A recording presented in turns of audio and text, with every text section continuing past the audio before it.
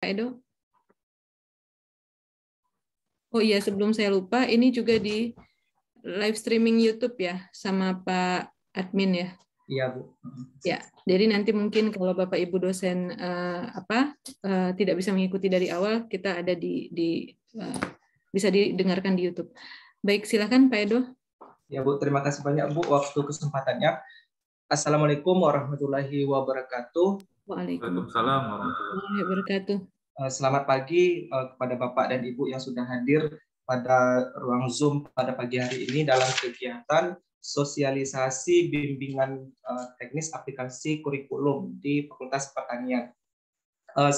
Sebelum kita memulai acara pada pagi hari ini, uh, ada baiknya kita mengucapkan puji dan syukur atas kehadiran Allah Subhanahu wa taala karena pada kesempatan pagi hari ini kita masih diberikan kesehatan berkah hidayahnya sehingga kita dapat berkumpul di dalam ruangan Zoom ini dalam rangka kegiatan sosialisasi aplikasi kurikulum di tingkat universitas ada Fakultas Pertanian Universitas Riau.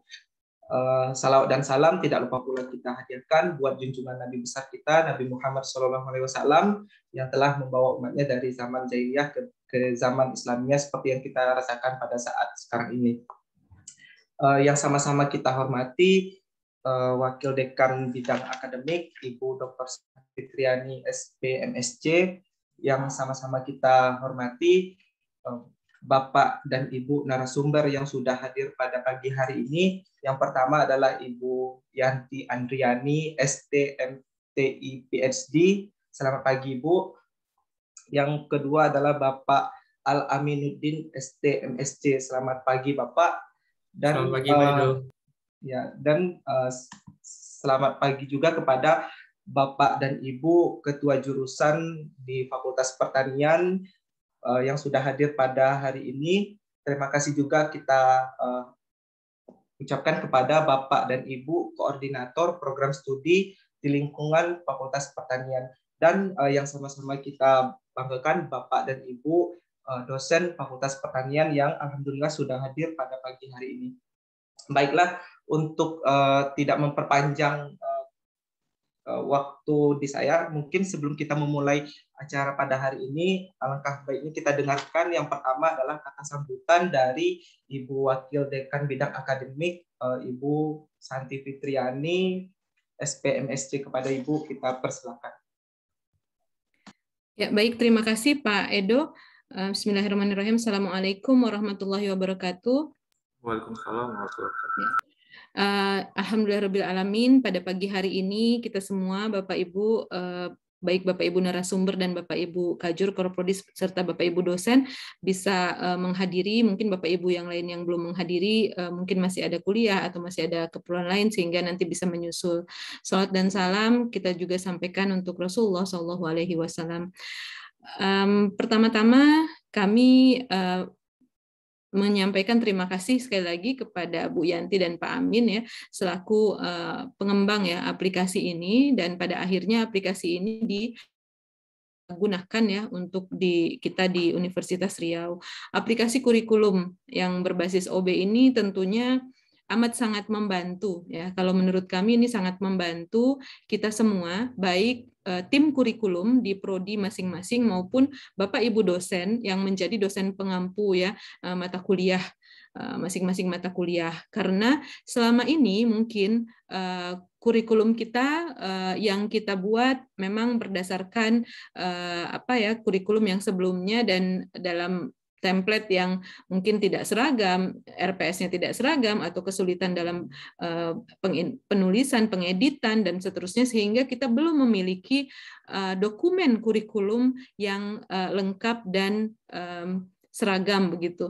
Nah, ada tuntutan sekarang dari Dikti untuk kita memiliki dokumen kurikulum. Memang kurikulum itu bukan sebatas uh, struktur atau sebaran mata kuliah Bapak Ibu, tapi memang itu menyeluruh dimulai dari uh, landasan kita uh, menetapkan ya, mulai dari menetapkan profil lulusan kita, kemudian bagaimana capaian pembelajaran lulusan atau CPL, lalu kemudian bidang-bidang kajian kita dan CPL itulah kemudian kita akan bebankan atau kita akan berikan kepada mata kuliah-mata kuliah yang kemudian kita bentuk. Nah, uh, tentunya itu uh, juga selaras ya dengan semangat ya OB kemudian MBKM. Jadi kita ber, berbenah begitu untuk sesuatu yang insya Allah lebih baik. Nah, aplikasi ini sangat membantu dalam uh, perapihan itu semua.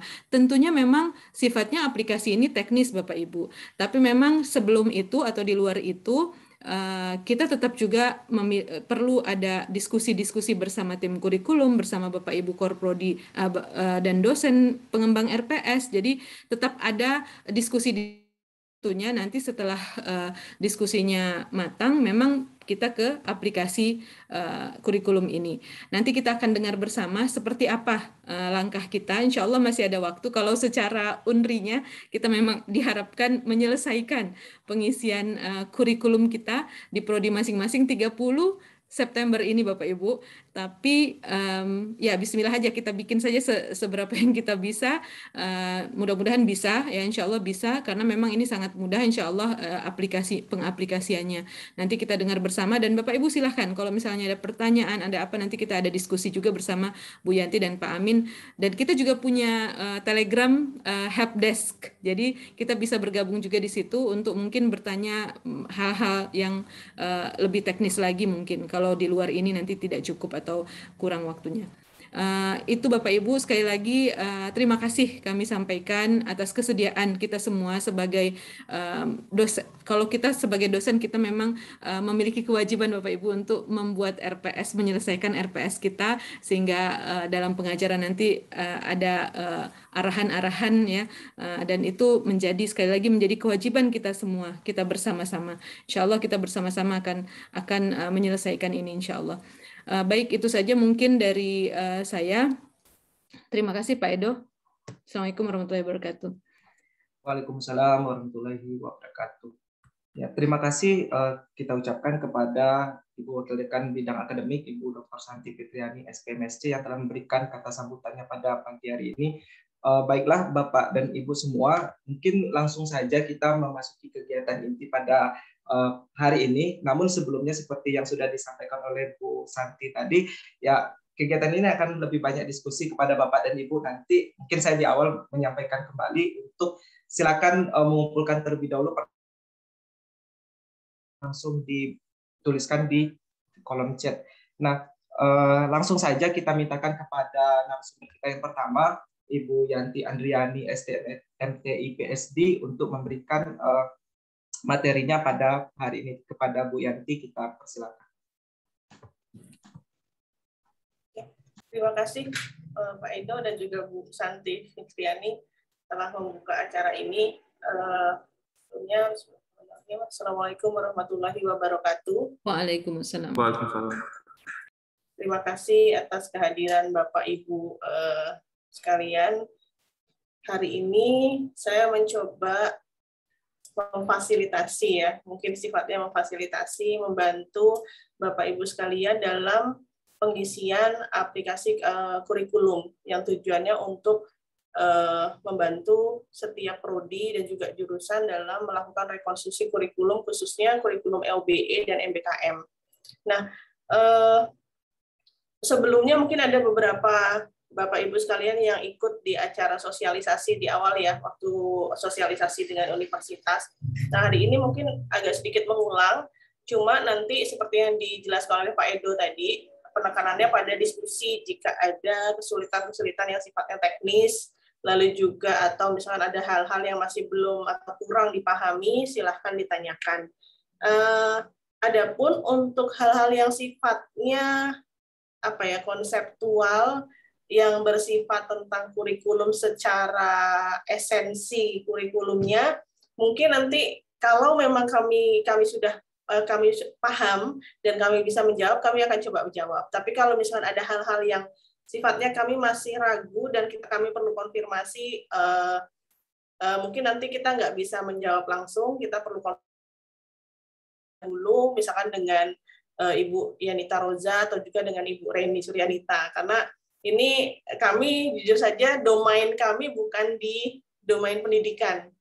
Kami sebagai eh, apa ya ibaratnya jembatan yang menjembatani domain knowledge pendidikan ke lalu diterjemahkan atau di, dirubah ke dalam bentuk sistem. Nah, area kami adalah di area sistem informasinya. Jadi kalaupun nanti ada yang sifatnya knowledge yang bersifat ke arah kurikulum secara konseptualnya yang kami masih belum paham betul, yang lahirnya dari beberapa pertanyaan ini mungkin kalau setelah sejauh yang kami pahami akan kami coba jawab, tapi kalau nanti masih kami ragu akan kami konfirmasi terlebih dahulu. Oke, okay. uh, eh, saya boleh share screen sebentar? Saya mau coba kasih pembukaan konsep dari aplikasi ini. Saya udah host ya? Saya izin share screen Bapak Ibu.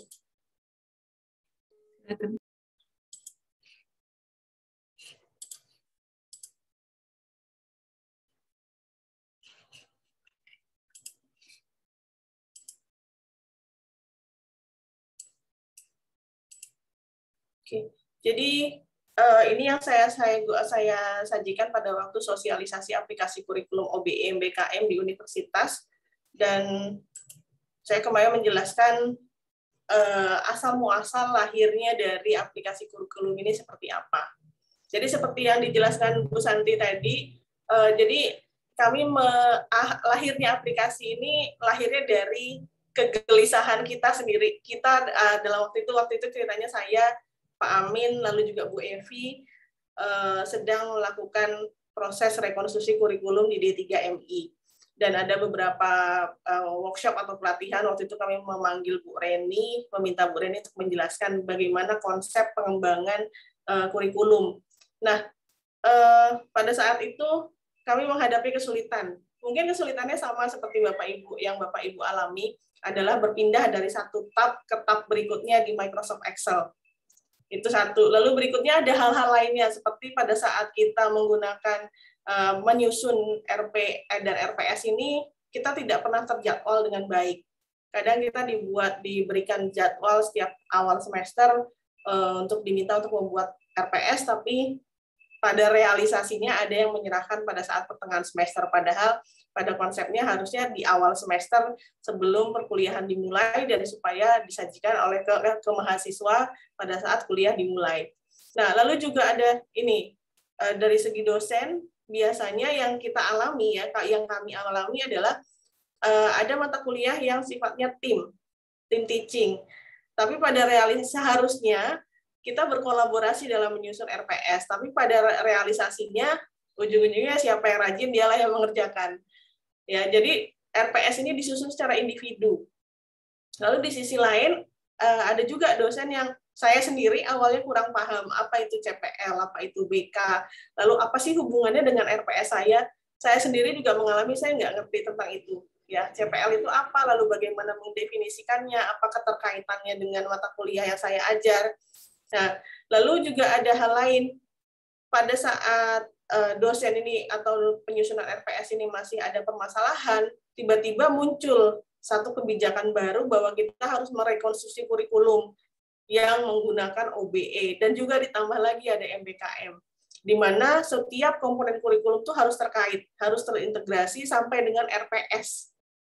Nah, integrasinya ini yang belum maksimal. Kita melihat bahwa adanya integrasi antara CPL, lalu juga eh, profil lulusan lalu CPL, lalu ada BK-nya, bahan kajian, sampai dengan rencana pembelajaran ini belum maksimal. Dan nggak ada tempat untuk berkolaborasi. Karena apa tadi? Kan tadi ya dosen ini mengerjakan secara individu.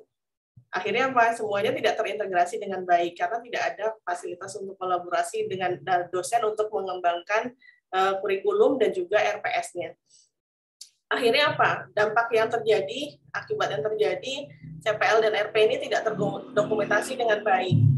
Lalu juga pelaksanaan perkuliahan tidak memenuhi uh, capaian pembelajaran.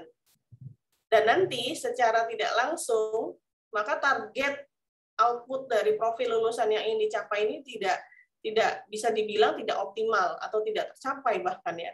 Lalu sulitnya mengevaluasi. Karena apa? Karena karena tidak seragam, Nah, nanti pada saat mengevaluasi kurikulum ini akan lebih uh, sulit dibandingkan kita sudah punya aplikasi, lalu sudah ada keseragaman, lalu semua diharuskan mengikuti standar seperti ini, ini akan lebih mudah dalam melakukan evaluasi. Itu lahir uh, ibaratnya latar belakang permasalahan aplikasi ini dibangun.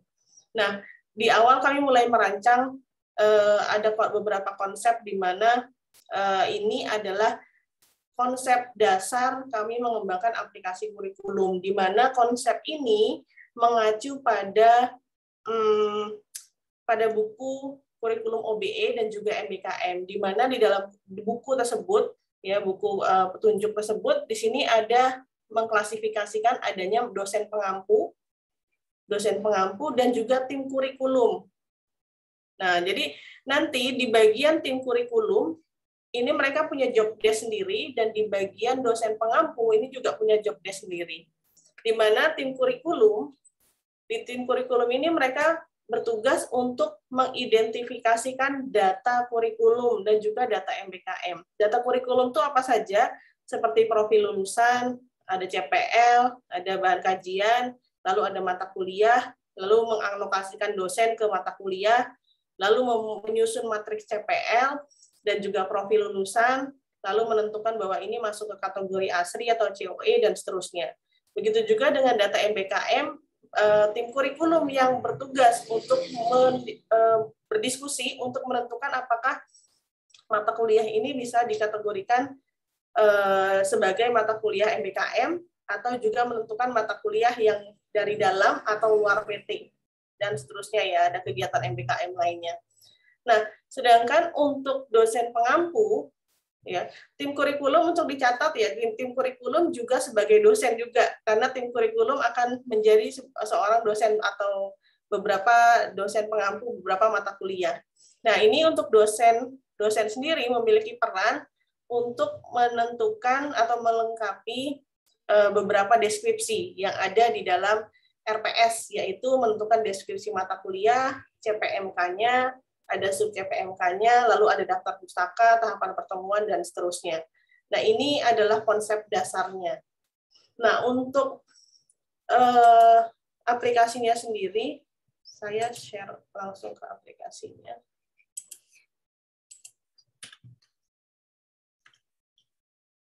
Oke, ini adalah tampilan aplikasinya. Jadi, saya sebentar, saya log out dulu. Ini tampilan awal, lalu sepertinya sudah di, uh, mungkin ada beberapa yang sudah pernah coba.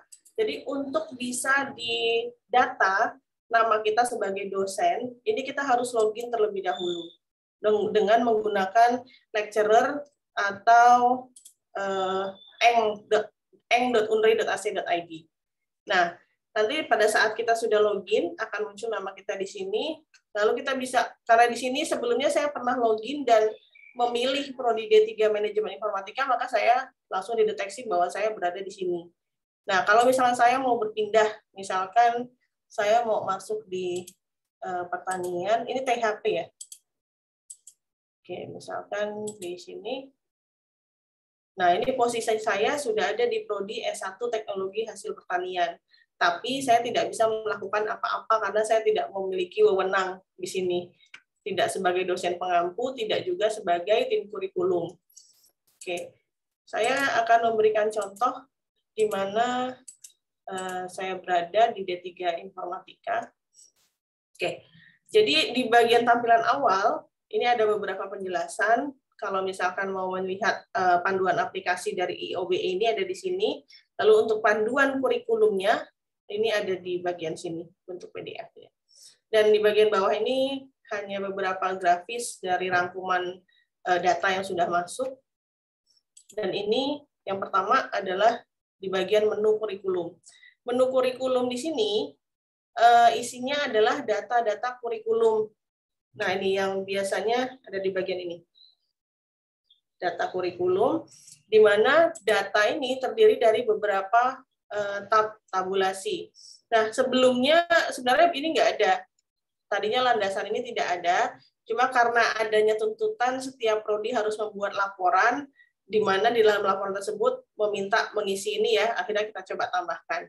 Lalu eh, yang terpenting adalah di bagian tab ini adalah profil lulusan. Nah, profil lulusan di sini ini yang bertugas adalah tim kurikulum. Jadi kalau beberapa dari ada komentar kemarin pertanyaan, kenapa sih bukan operator saja yang mengerjakan? Kenapa nggak kita kita sebagai tim kurikulum merumuskan, lalu ada operator yang mengerjakan. Uh, pertanyaan tersebut muncul, uh, tapi kita agak agak bingung ya menjawabnya karena kita membuat ini lagi-lagi mengacu pada buku kurikulum OBE MBKM, di mana semua kebutuhan sistem mengacu dari sana di mana tim kurikulum punya job desk untuk mendefinisikan ini dan mereka yang tahu betul profil lulusan ini seperti apa dan ini harus melalui dari proses diskusi. Ini profil lulusannya pada saat kita mau menambahkan kita bisa tambahkan di sini. Nah, ini eh, kode profilnya boleh menggunakan prof 1, boleh menggunakan PL1 asalkan konsisten. Lalu ini apa profilnya?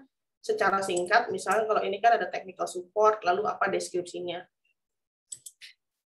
Lalu berikutnya ada tab CPL, capaian pembelajaran. Eh, sorry, CPL. Ya. Nah, di sini tim kurikulum bertugas untuk mendefinisikan ini semua. Di mana dengan menggunakan tambah lagi, Nah, di sini misalkan kode CPL-nya berapa, nanti di sini ada pilihan kategorinya, apakah sikap, pengetahuan, keterampilan umum, dan keterampilan khusus. Lalu di sini ada eh, bentuk CPL-nya apa, lalu juga deskripsinya seperti apa. Lalu tim kurikulum bertugas mengidentifikasi ini masuk ke COE, Center of Excellence, atau ASRI, atau Responsive Gender, atau semuanya. Ini bisa kita pilih ketiganya. Ini masih di bagian tim kurikulum ya Bapak Ibu. Jadi ini semua yang mengerjakan harus tim kurikulum. Nah, ini juga nih bahan kajian. Bahan kajian yang harus me, uh, harus didefinisikan oleh tim kurikulum dengan menentukan bahan kajian apa yang ada di dalam uh, sebuah prodi yang akan dibahas nantinya ya secara garis besar. Contoh kalau di dalam D3 Informatika ada bahan kajiannya isu sosial dan praktik profesional, ada statistik dan ilmu komputasi, algoritma dan bahasa pemrograman, dan seterusnya. Sama proses tambahnya pun juga sama di sini. Kenapa uh, saya pada saat login kok saya nggak muncul tombol tambah ini ya, Bu? Nah, ini ini juga suka muncul apa ada pertanyaan seperti itu. Bisa jadi uh, pada saat login mendaftar pertama kali uh, Bapak Ibu sekalian tidak memilih Bapak Ibu sebagai dosen plus tim kurikulum, tapi memilih sebagai dosen saja. Artinya kalau saya sebagai dosen, saya tidak punya wewenang untuk mengutak-atik ini. Makanya tombol tambah ini tidak muncul. Nah, ini di posisi saya muncul karena saya sebagai tim kurikulum di D3 eh, MI, Manajemen Informatika. Sama ya di semua di semua tab ini akan tidak akan muncul kalau Bapak Ibu sekalian bukan tim kurikulum. Nah, ini lalu ini adalah mata kuliah. Ini ada mata kuliah yang harus diinputkan oleh tim kurikulum. Memang sifatnya kayaknya eh, kerjaan entry data ya. Tapi nanti ini akan berefek di bagian matriks ini Bapak Ibu. Begitu juga dosen prodi. Lalu ada pengampu mata kuliah, ini mengalokasikannya eh, mata kuliah apa, pengajarnya siapa. Nah, misalkan ini statistika siapa kalau dia lebih dari satu misalnya seperti ini. Tinggal di checklist saja. Dengan catatan harus sudah login ke dalam aplikasi ini baru dideteksi di dalam ini. Lalu tim kurikulum. Nah, ini mengidentifikasi siapa saja yang menjadi tim kurikulum di sini.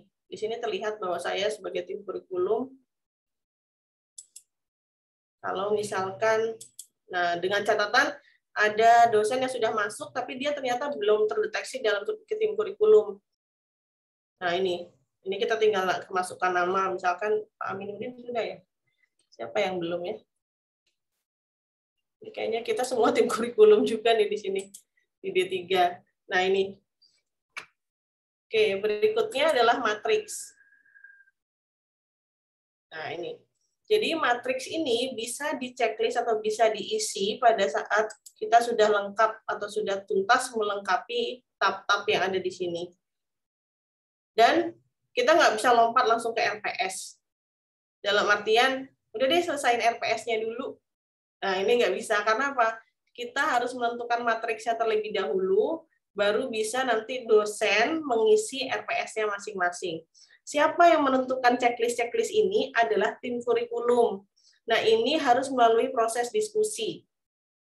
Harus melalui proses diskusi. Nah, ini kok ini kok nggak aktif ya? Ini harus diklik di tombol edit. Seperti ini. Misalkan PL dengan eh, CPL. CPL pembelajaran lulusan. Di sini junior programmer, ini dia harus eh, mengcover apa nih? CPL yang mana, tinggal di checklist. Jadi satu-satu. Memang kelihatannya melelahkan, tapi ini sudah lebih uh, simpel dibandingkan kita menggunakan Microsoft Excel. Di mana kalau kita pakai Microsoft Excel, kita mesti kita balik lagi ini tulisan ini nggak muncul, kita lihat lagi di tab sebelumnya. Buka lagi tab Excel sebelumnya. Nomor satu apa ya? Junior programmer, oke, okay, checklist. Lalu S2 apa ya? Nah, biasanya seperti itu. Nah, dengan pakai sistem ini kita tinggal lihat, oh ini ke sini, tinggal checklist, checklist, checklist, nanti bisa di-generate dalam bentuk Excel-nya. Lalu ada CPL dengan BK, sama. Ini pun juga yang bertugas adalah tim kurikulum untuk mengidentifikasi. Uh, kemarin ada pertanyaan, jadi ini saya saya jelaskan juga ya beberapa, saya share juga beberapa case di uh, prodi lain. Jadi prodi prodi apa Pak kemarin Pak Amin? matematik ya? Ya, ya Bu, nah, matematik. Prode matematik uh, hari Sabtu kemarin mereka agak sedikit lembur ya, lembur mengerjakan ini dan mereka mencoba membuat ini secara paralel.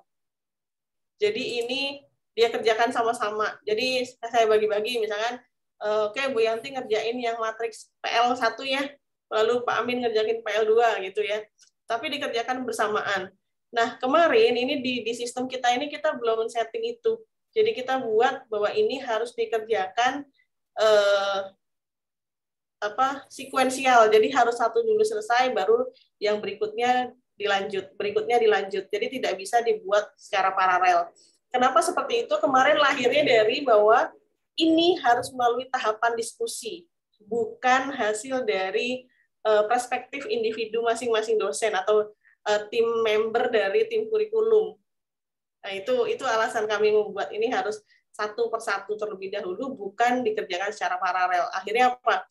Uh, akhirnya pada waktu matematik mencoba ini mengerjakan secara paralel, dibagi-bagi, yang dia isi paling terakhir itu tidak ter, tersimpan. Nah, itu kendalanya. Jadi nanti untuk catatan Bapak Ibu tim kurikulum ya, kalau misalkan ini idealnya memang harus didiskusikan terlebih dahulu per satu-satu matriks ini. Begitu juga dengan CPL dan BK. Edit di bagian sini hampir sama semuanya Bapak Ibu. Ini pun juga. Lalu BK dan mata kuliah. Nah ini ini lumayan banyak nih. Jadi harus saya bagi-bagi. Ya betul. Cuma lagi-lagi memang berdasarkan uh, ya lagi-lagi saya kita mengacunya dari buku kurikulum ya buku panduan kurikulum ya ini hasil dari diskusi. Makanya kami buat ini secara sekuensial. Ini harus selesai terlebih dahulu lanjut ke berikutnya lanjut ke berikutnya dan seterusnya. Oke. Untuk matriks selesai kita lanjut ke ringkasan kalau ringkasan ini sebenarnya nggak banyak mengedit ya. Kita ini adalah hasil dari apa yang kita isi di matriks kita sudah isi matriks sudah kita tinggal tampilkan ini sudah ada semua tersajikan.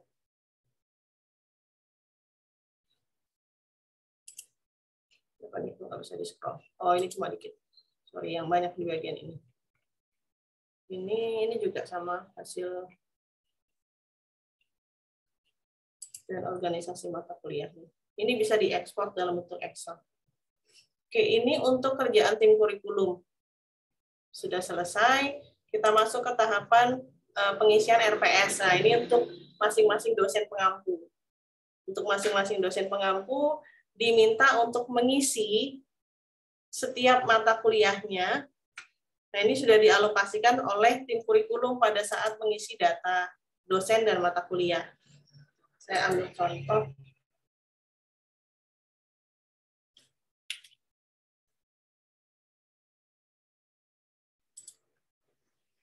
Contoh ini. Ini ada mata kuliah Pak Amin, konsep pemrograman. Nah, di sini, kenapa tadi nggak bisa lompat dulu langsung ke RPS eh, yang bagian CPL dan kawan-kawannya tadi nanti sajalah belakangan. Kenapa uh, ternyata nggak bisa karena ini kita mau meng-highlight CPL Prodi yang dibebankan pada mata kuliah. Jadi ini harus terdefinisi terlebih dahulu dan juga profil lulusannya, baru nanti dosen bisa mengisi RPS-nya. Nah, mengisi RPS-nya dimulai dari mana? Dimulai dari mulai deskripsi mata kuliah. Ini karena saya oh, sebentar saya cari yang saya bisa edit aja. Nah, karena tadi punyanya Pak Amin, mata kuliah Pak Amin, saya nggak bisa ngedit. Tapi kalau punya saya, nah ini ada muncul nih, ada tambah ini.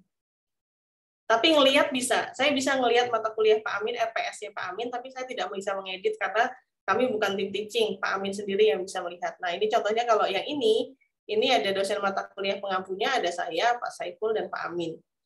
Saya pun juga bisa eh, mengisi. Nah, contoh deskripsi mata kuliah, eh, sebelumnya ini akan kosong. Nah, kita sebagai dosen pengampu bertugas untuk mengisi ini.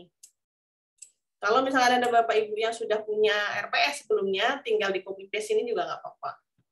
Ada persyaratannya apa, tinggal diisi. Lalu nanti akan muncul di sini. Berikutnya ada CPMK. Nah, ini CPMK-nya. Nah, di sini ada CPMK 1 sampai dengan 3. Di sini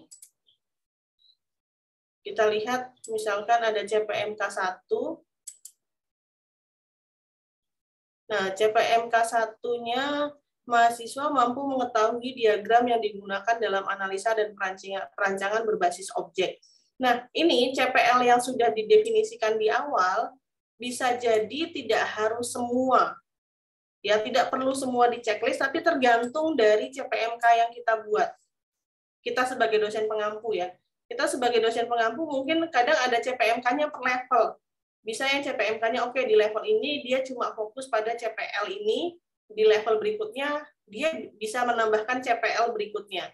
Nah, contoh seperti ini, mahasiswa mampu mengetahui diagram, ini hanya mengcover eh, di bagian KU3 dan KK1. Nah, ini kita checklist. Nanti pada saat kita simpan, ini akan muncul di sini. Tapi boleh nggak misalkan ini di, di checklist semua? Bisa saja, tapi alangkah bagusnya ini akan lebih di, di breakdown per CPMK, lalu capaian pembelajaran lulusannya mengcover, di covernya di bagian yang mana saja.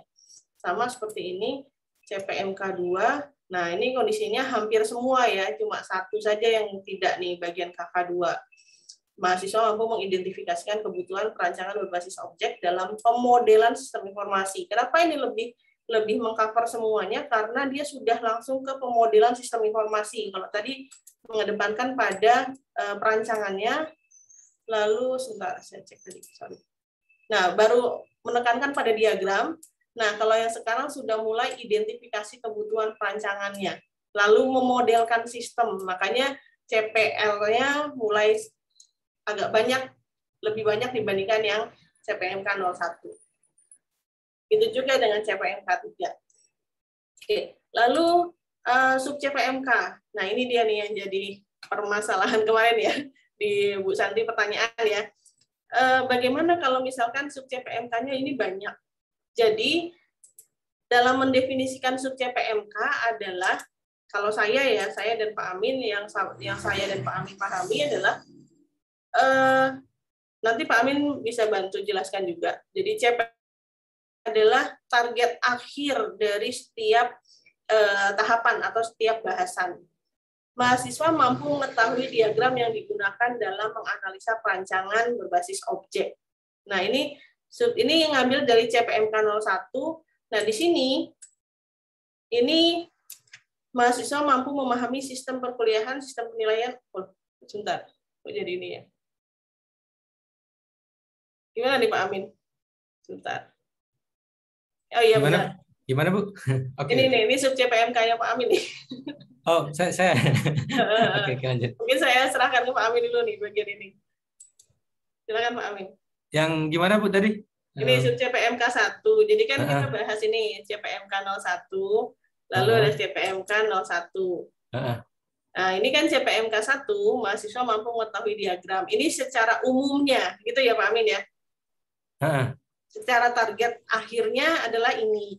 Lalu di breakdown lagi, sebelum mengetahui diagram ini dia mengetahui dulu sistem perkuliahan, lalu sumber belajarnya sampai dengan ini alat perkuliahan untuk menggunakan atau untuk merancang sistem berorientasi objek. Seperti itu ya Pak Amin ya, konfirmasi aja sih. Ya, kemarin itu eh, apa namanya kalau kalau, kalau bisa menambahkan memang uh, sub CPMK ini secara teorinya um, adalah kemampuan akhir yang bisa diukur pada setiap tahapan pembelajaran kita. Nah, kalau konteks tahapan pembelajaran itu berarti uh, saya asumsikan ta tahapan pertemuan itu. Jadi uh, dari CPMK ini, uh, CPMK untuk mata kuliah kita di breakdown atau dijabarkan menjadi sesuatu yang bisa diukur, entah itu melalui kuis dan sebagainya. Misalnya kita mau mencap ada capaian kognitif misalnya mengetahui atau memahami uh, topik tertentu. Berarti uh, sub CPMK-nya tinggal kita buat agak lebih spesifik gitu ya uh, ke yang yang bisa diukur gitu ya. Karena memang keyword atau kata kunci dari sub CPMK itu adalah uh, capaian yang bisa diukur, arti atau kemampuan dari uh, mahasiswa kita yang bisa diukur. Jadi kalau kalau saya buat seperti itu konteksnya Bu Yanti kira-kira. Oke. Nah, jadi seperti itu ya Bapak Ibu. Uh, tadi sudah dijelaskan oleh Pak Amin bahwa uh, intinya sub CPMK ini adalah tahapan akhir yang bisa diukur entah dalam bentuk uh, kuis atau latihan atau juga uh, beberapa tugas misalkan ya. Nah, ini untuk sub CPMK, lalu juga ada materi pembelajaran. Ini ada pokok bahasan. Nah, uh, ini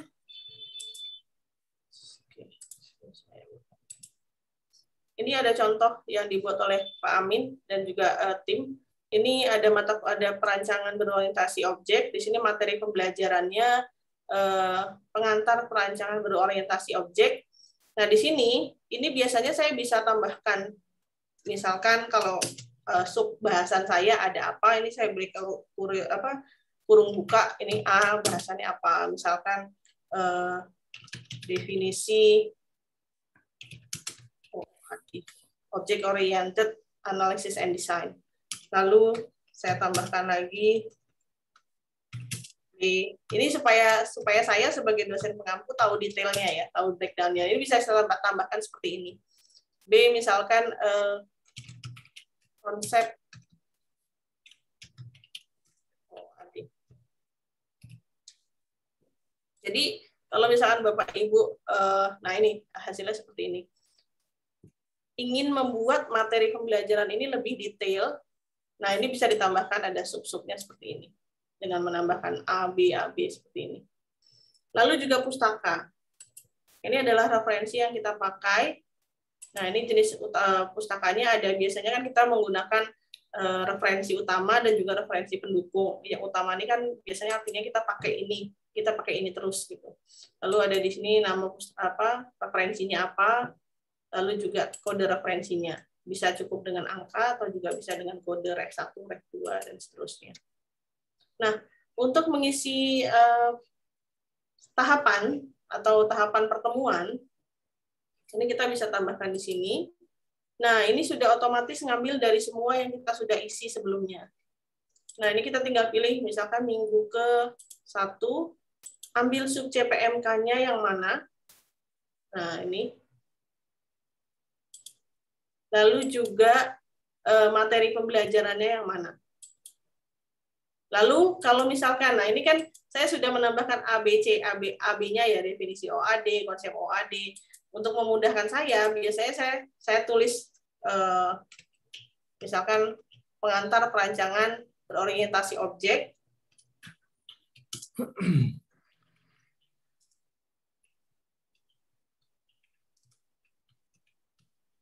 Nah, di bawahnya bisa saya tambahkan, nah ini misalkan definisi uh, eh, OOAD. Nah, ini membantu saya nih dengan menggunakan ini definisi OOAD, lalu bisa saya tambahkan detailnya apa. Lalu yang B-nya konsep OOAD. Nah, ini saya tambahkan sedikit keterangan saja, nggak perlu deskripsi panjang. Seperti itu. Lalu penilaiannya seperti apa? penilaiannya ini bisa jadi ada contohnya misalkan ketepatan dalam menjelaskan definisi. Lalu juga di sini ada bentuk kriteria penilaiannya apa? Apakah uh, kuis, apakah latihan esai, apakah atau kalau misalkan mau diisi dilengkapi dengan rubrik penilaian itu lebih eh, itu bisa juga. Lalu di sini ada metode pembelajarannya, ada yang menggunakan misalkan cuma diskusi kelompok, misalkan bisa juga ini diisi dengan penilaiannya dalam bentuk aktif uh, apa aktif aktif dalam berdiskusi misalkan. Ini ya, ini sudah dijelaskan di sini, pilihannya tinggal dipilih saja untuk metode pembelajaran. Dan ini penentuan antara secara luring, offline, atau juga secara online. Ini bisa diisi dengan menggunakan misalnya kalau luring uh, di kelas melakukan diskusi. Misalnya, kalau di online misalkan dengan menggunakan Google Classroom atau Zoom atau menggunakan LMS lainnya. Lalu ini ada bobot penilaian dan juga pustaka yang akan digunakan di pertemuan ini. Di pertemuan satu. Misalnya di pertemuan satu saya masih fokus dengan menggunakan referensi satu, ya cukup di checklist saja. Dengan catatan kita sudah mengisi di sebelumnya. Oke. Nah, untuk rencana pembelajaran, nah ini ini masukan dari tambah apa untuk pembelajaran ini karena tadi saya masukinnya cuma tujuh, tujuh pertemuan. Maka yang akan muncul di rencana pembelajaran di sini adalah cuma tujuh, karena kita baru mendefinisikan tujuh. Nah, ini kita bisa tambahkan di sini. Apa saja kegiatan pembelajarannya? Nah, ini.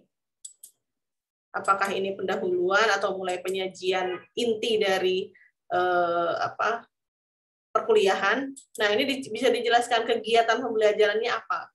Misalkan melakukan diskusi atau melakukan praktek eh, dengan terjun ke lapangan untuk menganalisa kebutuhan sistem misalkan atau menganalisa dokumen untuk merancang database kan seperti itu ya kalau di kami. Lalu durasi kegiatannya berapa lama? Atau studi kasus bisa juga. Lalu Nah, ini media sumber belajarnya bisa ditambahkan. Misalkan ada link link YouTube atau link uh, blog atau informasi atau link jurnal. Nah, ini bisa ditambahkan di sini. Referensi tambahannya. Dan ini hasil dari ya, inputan ini bisa di-download. Lalu rencana tugas mahasiswa. Nah, ini ini kita juga minta mengisi ini ya. Bentuk rencana tugas mahasiswa tapi tidak harus setiap pertemuan. Nah, ini kan biasanya kalau di dalam RPS kita ada rencana rancangan tugas. Nah, ini mau dimasukkan di di pertemuan keberapa atau tugas keberapa. Ini. Bentuk tugasnya apa, judul tugasnya apa, dideskripsikan. Nah, ini yang dimaksud tadi yang bisa terukur. Nah, ini bisa di kalau kita lihat bahwa e, contoh misalkan ini ya dapat membuat use case diagram. Nah, waktu pengerjaan tugasnya misalkan satu minggu Artinya, kita bisa mengukur sub CPMK 3 di pertemuan keberapa. Di tugas yang di pertemuan keberapa, misalkan di pertemuan keempat. Lalu kita deskripsikan tugasnya di sini. Lalu metode pengerjaannya seperti apa? Apakah diskusi, apakah nanti presentasi? Lalu bentuk dan format luarannya apa? Apakah dalam bentuk laporan?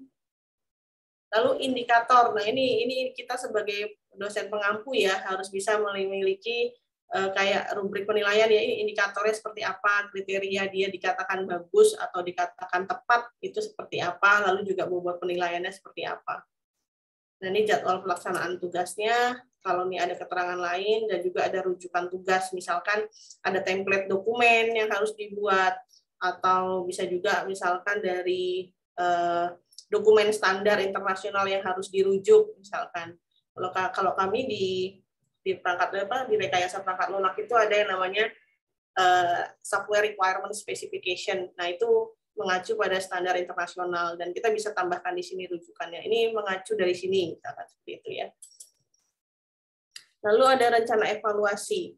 Nah ini rencana evaluasi. Ini uh, yang waktu itu kita pernah diminta membuat tabel IQ ya Pak Amin ya kalau nggak salah ya tabel yeah, untuk dikumpulkan yeah, ke IKU ya. Mm-hmm, Jadi ini ini request ya betul.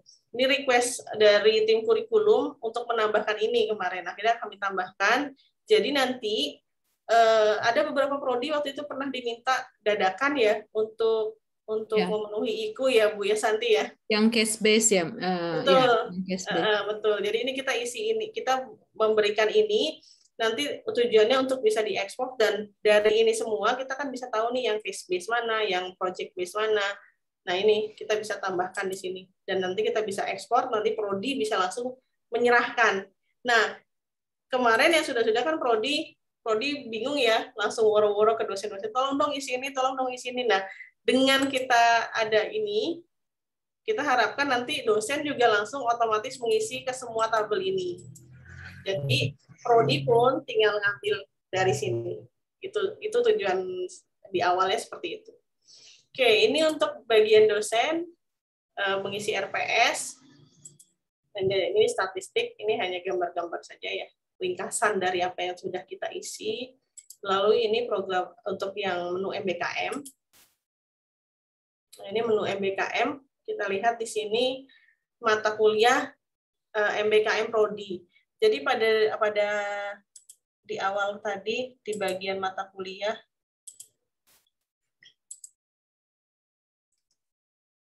Nah, ini. Jadi pada sebelumnya nih ya, waktu tim kurikulum menentukan ini, nah ini kan di, di kita di D3MI kan nggak ada ya yang kita checklist sebagai mata kuliah MBKM, makanya di dalam menu MBKM nggak ada eh, ada tampilan mata kuliah yang muncul. Misalkan ini kita pengantar teknologi pengantar PTSI ya PTSI kita checklist sebagai MBKM yang ditawarkan di dalam PT dan di luar PT misalkan.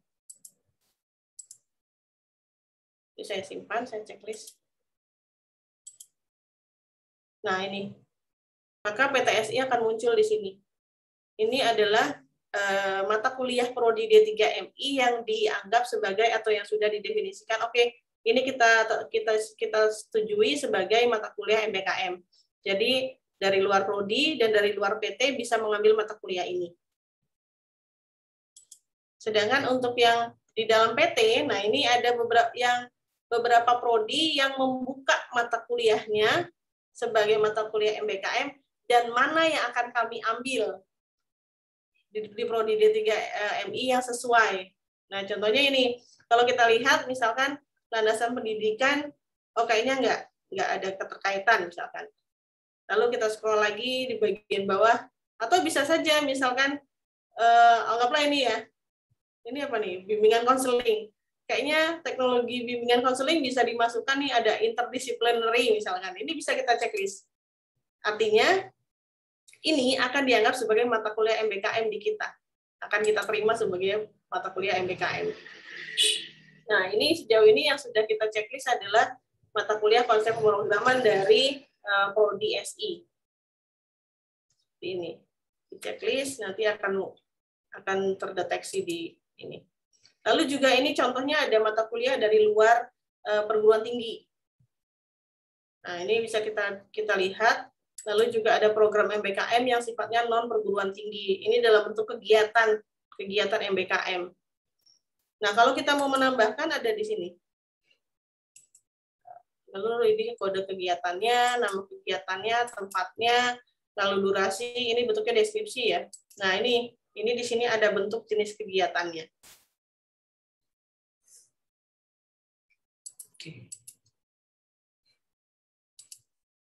Lalu pada saat kita sudah memilih memilih program-program ini, ya mata kuliah ini biasanya nanti tugas uh, tim kurikulum juga harus memetakan CPL-nya. Jadi uh, waktu itu sempat diskusi juga dengan tim kurikulum universitas adalah untuk menentukan bagaimana uh, mata kuliah dari luar PT itu bisa dikonversi menjadi SKS misalnya seperti itu. Nah, menurut buku panduan kurikulum MBKM untuk bisa dikonversi itu mengacu dari CPL. Itulah kenapa kita digesa untuk membuat CPL, capaian pembelajaran lulusannya. Nah, itu yang nanti akan digunakan untuk melihat apakah ini sesuai dengan CPL prodi kita atau tidak, atau CPL mata kuliah yang dibebankan atau tidak. Nah, ini ini belum didefinisikan ya Pak Amin ya. Mungkin kalau sekarang kita masih belum terlalu berkutat di MBKM ya, karena kita masih di RPS dan kurikulum aja masih pusing. Itu yang saya yang kami alami di prodi itu itu. Jadi kita belum terlalu banyak dipakai, tapi nggak apa-apa. Ini ini saya tetap jelaskan. Jadi nanti pada saat MBKM sudah diterapkan, nah ini uh, tim kurikulum juga harus menceklis. Tapi saya edit ini. Contoh ini, ini saya ambil dari uh, beda prodi.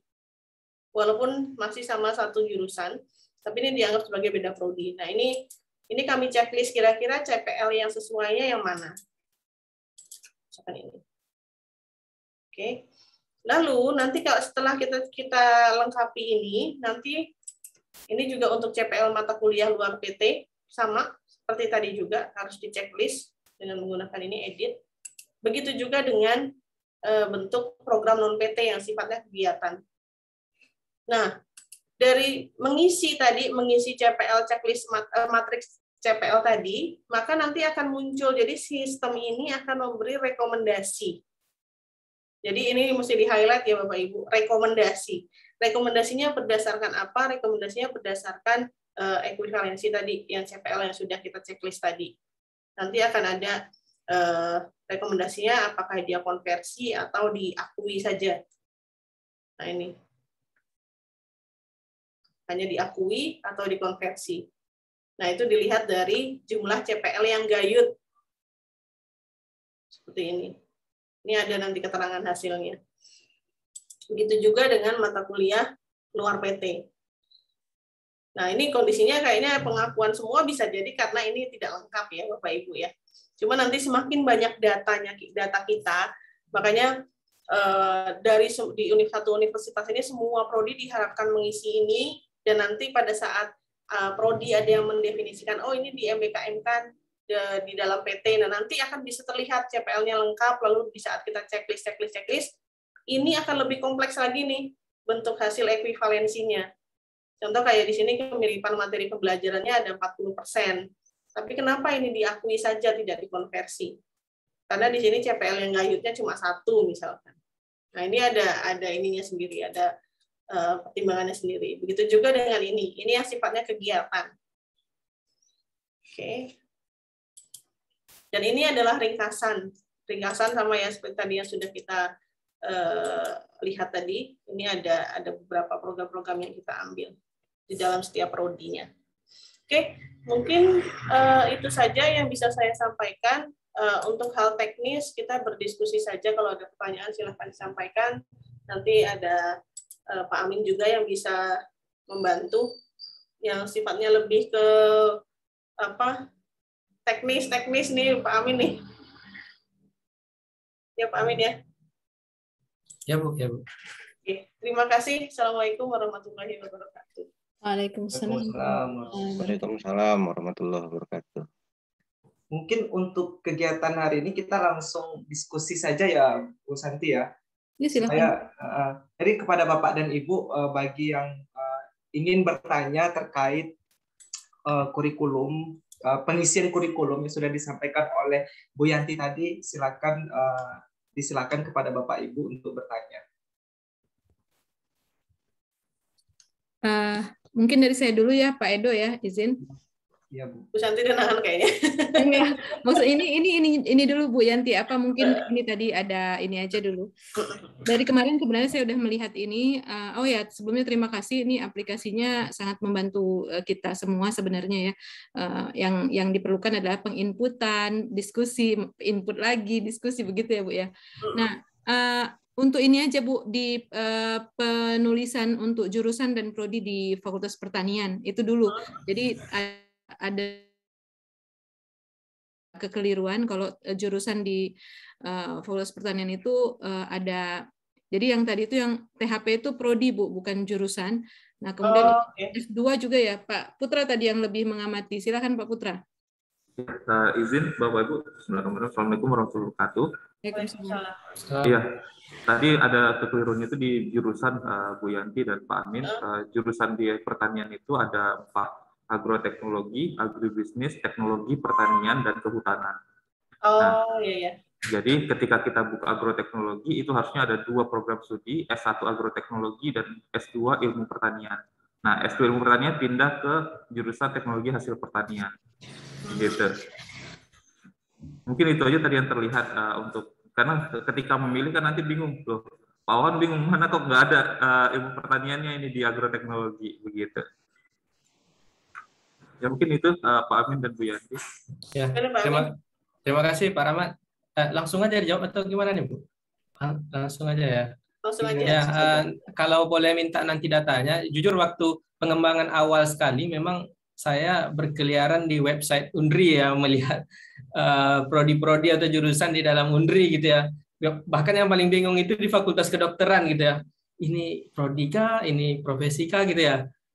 Akhirnya saya lupa juga konsultasi dengan LPPMP ya, tapi udah keburu rilis aplikasinya. Jadi nanti kita minta datanya ya Pak Rahmat, data di Fakultas uh, Pertanian itu detailnya apa jurusannya, terus prodi-prodi di dalamnya biar kita rapikan lagi biar nanti Lalu di, di PM ke saya saja boleh di Telegram atau di WA boleh. Terima kasih Pak Rahmat, Bu Santi. Sama-sama Pak. Terima kasih atas koreksinya Pak Rahmat, Bu Santi. Hmm, ya terima kasih. Terus kalau pertanyaan dari saya, uh, Pak Edo boleh ya, langsung ya? Ya silakan. Daripada tunggu di list yang formal kali. Untuk apa Bu? Untuk ketika kita mengisi RPS itu Bu, memang kita mengisinya uh, uh, tim ya Bu ya?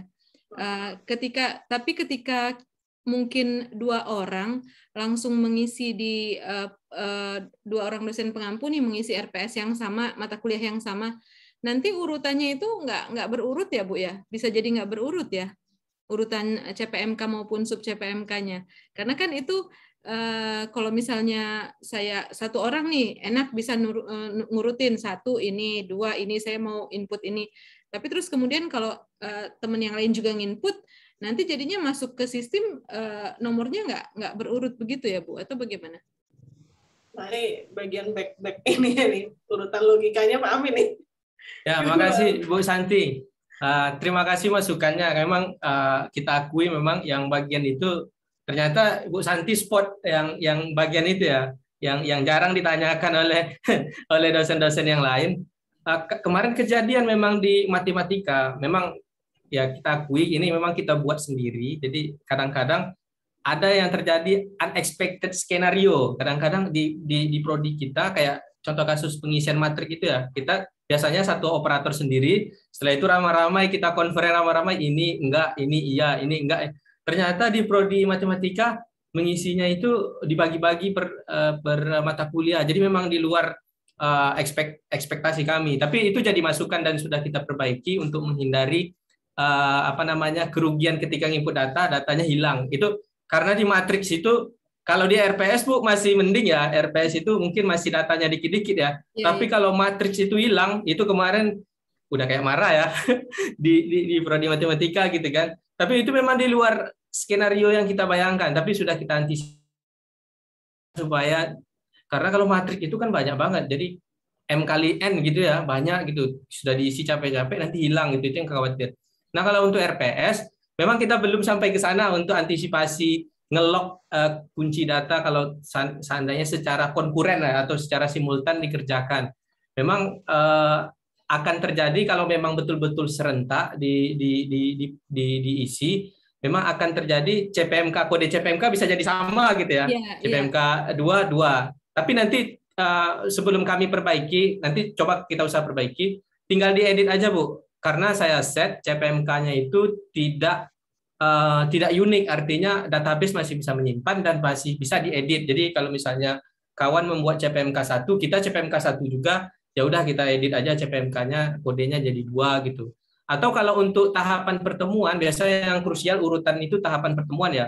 Tahapan pertemuan itu saya uh, apa namanya kemarin itu dibuat kita kita buat uh, diantisipasi tidak tidak boleh ada redundan, tidak ada tidak boleh ada uh, pertemuan minggu kedua yang sama dua kali gitu, nggak boleh karena sistem nggak akan menerima kayak gitu. Jadi pertemuan dua, walaupun mungkin siapa yang duluan menginput dialah yang uh, yang menginputkan uh, pertemuan tahapan pertemuannya bu. Kalau untuk tahapan pertemuan ya, tapi kalau untuk CPMK dan sub CPMK masih memungkinkan uh, sama gitu, karena saya buat uh, tidak tidak begitu urgen karena masih bisa diedit. Tapi kalau untuk tahapan pertemuan uh, minggu-minggu itu nggak bisa dia sama. Urutannya secara otomatis sistem yang akan mengurut nanti Bu dari uh, minggu pertama, kedua, ketiga. Walaupun Ibu input misalnya dari satu ke delapan atau UTS-nya duluan, setelah itu uh, pertemuan satu uh, kedua tetap pertemuan satu yang akan di atas gitu. Jadi okay. tidak tidak begitu apa kali. Tapi makasih masukannya Bu. Ini kadang-kadang kita uh, bayangkan rupanya cara kerjanya di prodi ini begini. Ada juga kemarin masukan uh, kalau bisa RPS itu jangan jangan semua dosennya yang yang menginputkan gitu ya. Uh, harus satu orang dosen. Uh, boleh seperti itu ya, tapi di prodi yang lain ada yang seperti berkolaborasi kayak gitu. Jadi masing-masing prodi punya ciri khas masing-masing. Tapi kita sistem kita tetap mengadopsi memfasilitasi seperti itu. Kalau misalnya memang saklet eh, prodinya membatasi kalau RPS itu hanya boleh satu orang menginputkan, ya sudah ketika mengassign pengampu mata kuliah letakkan satu orang di sana. In case kita khawatir kalau kita letakkan dua eh, dosen yang lain eh, menginputkan yang macam-macam misalnya kayak gitu ya. Uh, tapi memang secara uh, sifat aplikasi ini memungkinkan kolaborasi itu. Jadi kalau kalau bisa karena kita menyediakan log history dosen apa mengedit apa waktunya kapan gitu. Jadi kalau misalnya ada seorang dosen atau apa yang mengedit itu ketahuan dia mengeditnya apa yang dieditnya tanggal berapa dieditnya jadi nggak bisa bohong gitu ya ada ada lognya kita catat dan itu kita minta izin ketika pertama kali register aplikasi kita minta izin mencatat log itu gitu se, se, seperizinan dari dari usernya kita catat gitu. Itu Bu kira-kira Bu ya, Bu Yanti. Ya, terima kasih Pak Amin. Jadi memang e, sebenarnya idealnya kita mendiskusikan bersama tim untuk RPS ini ya Pak. Tapi e, saya uh, enggak tidak masalah juga ketika memang pada akhirnya kita memang membagi oh dosen A RPS-nya ini sebagai pengembang apa koordinator pengembang misalnya kan ada memang uh, pilihan sebagai koordinator yeah. pengembang RPS begitu. Nah, uh, Adapun uh, kondisi diskusinya bisa sebelum itu mungkin ketika kita hmm. mungkin membuatnya dalam bentuk oke okay, mungkin katakanlah di Word atau di oret-oretan kita bersama-sama seperti apa nanti ketika penginputan yeah. baru oleh satu orang mungkin hmm. seperti itu juga bisa ya Pak ya diskusi sebelumnya tapi hmm. ketika penginputan mungkin ada pembagian untuk satu orang kalau memang uh, seperti itu juga nggak ada masalah sih Insya Allah nggak ada masalah ya terima kasih Pak Amin ya itu tadi dari Bu Santi ya Pak. Ini ada lagi dari Pak Rahmat Saputra Pak. Eh, silakan eh, kepada Pak Rahmat untuk bertanya. Terima kasih Pak Edo. Iya, sama uh, Bapak Ibu ingin menanyakan saja, memungkinkan tidak uh, final kurikulum itu bisa kita download dari uh, aplikasi ini. Jadi ketika kita download itu tinggal dalam bentuk uh, file Word atau PDF dokumen gitu Pak kan uh, kita kan diminta ke tadi Bu Santi bilang bahwa saya kurikulum itu tidak hanya uh, daftar mata kuliah sejauh ini kan kita yang di kurikulum kita tuh apa yang disebar tuh hanya SK uh, rektor tentang mata kuliah semester satu dua tiga AA. Nah dari sistem ini memungkinkan nggak ketika hanya one click kita langsung dapat dokumen dalam PDF rangkuman kurikulum seperti aturan dari di, apa kementerian. Harus ada landasan kan? Karena komponennya sudah ada tadi. Ada landasan ada ini ada itu. Ada tracer ada sebagainya macamnya. Jadi sekali klik kita langsung dapat dokumen dalam bentuk PDF oh, begitu. Kalau sementara semuanya belum ada ya Pak, cuma di setiap apa di setiap menu itu ada sih. Ya, contoh kayak misalkan profil lulusan itu bisa diekspor sendiri, landasan juga bisa diekspor sendiri dalam bentuk Excel. Lalu juga RPS bisa juga dalam bentuk RPS ada dua dalam bentuk ya, ya dalam bentuk uh, PDF kemarin sempat diaktifkan dalam bentuk Excel ya Pak Amin ya. Cuma kita nonaktifkan karena kita menghindari nanti uh, dosen memanipulasi memanipulasi tabel Excel jadi dia nggak diisi sini dia diisinya lewat Excelnya aja gitu itu itu kenapa kami nonaktifkan Excelnya yeah. jadi kita fokusnya di oh, pokoknya harus yeah. input gitu gitu ya Pak Amin ya ya Pak Pak Rahmat uh, kalau tidak perlu uh, prodi itu membuat dokumen lagi gitu ya. LPPMP itu langsung mengambil datanya sendiri oh, aja gitu. gitu. Nah, udah udah sampai di sana kita kemarin. Memang um, idenya awal uh, seperti itu Pak Rahmat. Memang makanya saya tambah di menu kurikulum itu di bagian data kurikulum itu landasan karena saya kebetulan tim kurikulum juga saya observasi karena memang uh, membuat aplikasi ini memang dari uh, template kurikulum itu apa saja yang dibutuhkan prodi ya untuk menyusun dokumen. Tapi akhirnya berpikir uh, rasanya ini bagaimana kalau di generate saja satu dokumen semuanya ada sampai ke RPS RPS sampai ke SNXL tadi dalam satu dokumen. Itu sudah sudah sudah pernah saya coba dan kayaknya in progress juga ya. Mudah-mudahan terkejar juga. Tapi untuk sementara ini kalau misalnya dikejar deadline, uh, solusinya tadi itu Pak uh, Rahmat di ekspor Excel tadi, karena uh, sebenarnya challenge tantangannya juga ya ketika mengekspor itu dalam bentuk PDF katakan satu, maksudnya dokumen portofolio kurikulum ya Pak ya? Iya, seperti uh, panduan dari kementerian itu. Uh, itu uh, dia banyak deskripsi pengantarnya dulu gitu ya. Jadi selain data data utama intinya misalnya kayak uh, matriks. Nah sebelum matriks itu ada cerita-ceritanya dulu tuh deskripsi-deskripsinya. Mungkin nanti kita sediakan uh, satu kali download. Tapi, tapi ini janji atau enggak ya? Uh, nanti kita sediakan uh, apa namanya satu download uh, do, dokumen. Sebelum 30, sebelum 30 September. ya doakan bisa ya dalam bentuk doc gitu ya, yang bisa diedit gitu Pak ya, maksudnya ditambahkan aja pengantar setiap tabel gitu ya. Tapi tabel itu otomatis udah terisi ya. data-data ya. kita di di uh, di di aplikasi ini. Saya sudah terpikir juga Pak Rahman karena uh, apa harusnya bisa memang seperti itu gitu. Karena, doakan aja mudah-mudahan bisa ya, ya Pak Rahman. Hmm. Ya karena memang kita dan ini kan dokumen ini akan dikumpulkan jadi meminimalisir kerja tim kita fokus yeah, yeah. menginput data aja kan, tinggal yeah, merapikan yeah. seperti Pak Amin sampaikan tadi. Gitu. Ya benar Pak. Ini sebenarnya cerita kita dari kita juga Pak, karena kita sama-sama dari prodi ya, bukan bukan bukan pengembang juga. Memang yang kita butuhkan itu di sisi lain dokumen itu, karena mungkin pihak uh, Ban PT dan sebagainya nggak ngelihat aplikasinya, dia lihat uh, dokumen portofolio uh, kurikulumnya mana gitu, RPS yang print outnya mana gitu. Nah itu yang akan kita coba jembatani nanti Pak. Mudah-mudahan terrealisasi nanti. Amin. Terima kasih saya Pak. Kira, ya. Pak Amin, Pak Amin saya kira yang perlu kenapa itu dibutuhkan karena yang namanya kurikulum harus itu harus disahkan disahkan dulu baru bisa dilaksanakan disahkannya itu di SK rektor nah dalam pengesahan ini apakah dalam sistem bisa di di apa disahkan sesuai dengan keputusan karena harus, harus harus ada keputusan rektor surat keputusan rektor tentang kurikulum. Saya kira itu harus memang dalam bentuk dokumen, oleh dokumentasi, dengan apa namanya hard copy-nya maksudnya untuk di untuk di kan itu yang namanya kurikulum. Jadi kita tidak semata-mata menggunakan sistem ini saja. Ya. Apakah di, apakah ada ya di dalam uh, manajemen informasi informatika ini uh, bahwa sistem itu bisa disahkan gitu. Nah, saya kira mungkin begitu. Jadi dia apa nama saklek, namanya kurikulum itu nanti saklek dia, tidak tidak berubah gitu tuh yang namanya kurikulum itu. Yang bisa berubahnya RPS-nya mungkin bisa berubah yang, yang dibuat oleh dosen, RP-nya bisa berubah. Tapi yang namanya eh, dokumen kurikulum tidak, boleh berubah. ya, terima kasih Pak Pak Gunawan yang masukannya benar.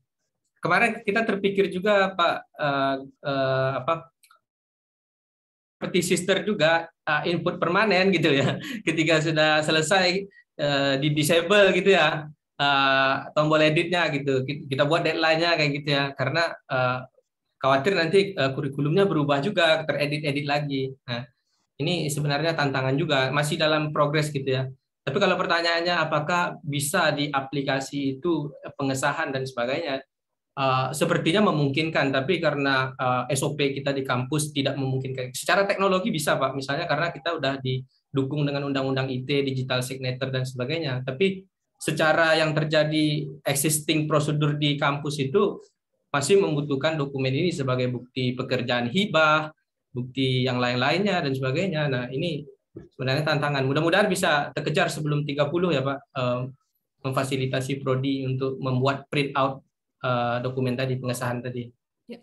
Uh, sedikit menambahkan mungkin Pak Gunawan, Pak Amin dan Bu Yanti, Bapak Ibu semua juga. Mungkin kalau bagian dari dokumen kurikulum kita yang memang dibutuhkan pengesahan adalah terutama struktur atau isi kurikulum kita yang itu semua alhamdulillah uh, sudah di ya.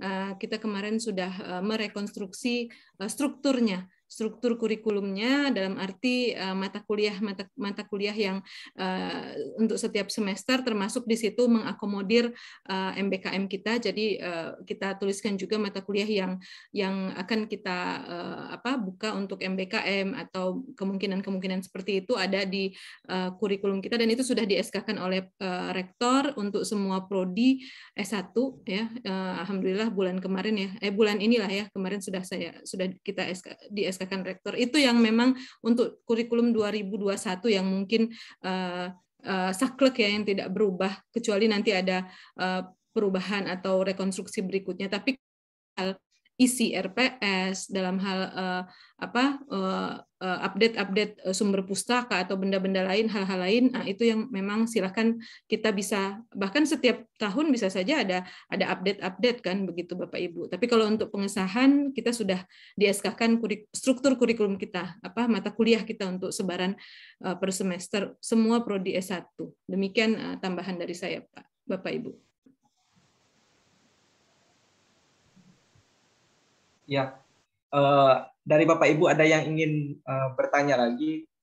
Mungkin tadi di kolom chat Bu Deviona sudah memberikan pertanyaan apakah bisa diakses oleh mahasiswa? Mungkin maksudnya uh, web kurikulumnya ya Bu Yanti ya, dan itu dan dijawab oleh Bu Yanti atau Bu Deviona mungkin secara langsung ada yang ingin ditanyakan kembali Bu disilakan Makasih Pak Ido. Ya tadi ada jawab sama Bu Bu Yanti sebenarnya ya. Uh, artinya kan tadi saya melihat ada materi-materi kuliah dalam bentuk YouTube gitu ya, materi pembelajaran itu ada di situ gitu. Artinya kalau ada, kalau misalnya mahasiswa bisa mengakses kan lebih gampang ya. Tapi ada satu lagi yang saya tanyakan adalah uh, di dalam apa ya, biasanya di dalam uh, struktur ada RPS gitu ya, kemudian ada RP, kemudian ada soal-soal ya atau latihan-latihan soal gitu yang yang dijadikan contoh. Karena mungkin saja pas mungkin akreditasi orang akan lihat mana sih contoh-contoh soalnya? gitu. Mana sih contoh-contoh tugasnya? gitu. Apakah itu bisa juga di situ? gitu. Di kita bisa bisa tambahkan di situ ada contoh-contoh um, latihan yang latihannya itu memang uh, gimana ya misalnya uh, jawabannya ada gitu ya satu. Misalnya ada pertanyaan gitu ya kalau ada jawabannya ada pertanyaan terus kita oh kamu ya kemudian hanya latihan gitu apa bisa nggak di situ? Tapi karena tadi mungkin ke depan mungkin eh, ke depannya tadi bisa diakses mahasiswa mungkin bisa saja ke depannya eh, model-model seperti itu. Jadi sebelum anak-anak masuk kuliah sebenarnya dia udah udah baca materi udah ngerjakan latihan gitu itu aja kayaknya Terima kasih Bu Deviana. Tadi sedikit sudah secara singkat ya sudah saya jawab bahwa memang pada awalnya eh, saya dan Pak Amin juga diskusi ya Bu, ini RPS ini bagusnya kita kasih akses nggak ke mahasiswa? Pak Amin sempat bertanya gitu. Sebenarnya ada ada poin bagusnya, cuma di satu sisi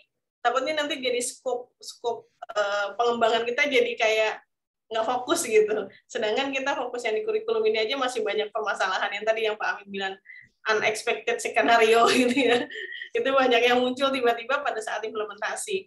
Memang eh, ke depannya maunya memang karena jadi kita sudah mulai punya pijakan dari contoh tadi kayak ada beberapa field yang harus mengupload eh, materi, lalu juga ada mengupload eh, link eh, referensi atau link-link contoh soal gitu ya Bu Riviana ya Nah itu sebenarnya uh, pijakan awal nanti ke depannya insya Allah mau dikembangkan ke arah sana gitu. Dan di satu sisi juga ini kan uh, bentuk penelitian yang multi tahun dan OBE itu sendiri kan yang pernah saya jelaskan juga di sosialisasi sebelumnya ada satu modul yang disebut dengan uh, outcome based learning and teaching.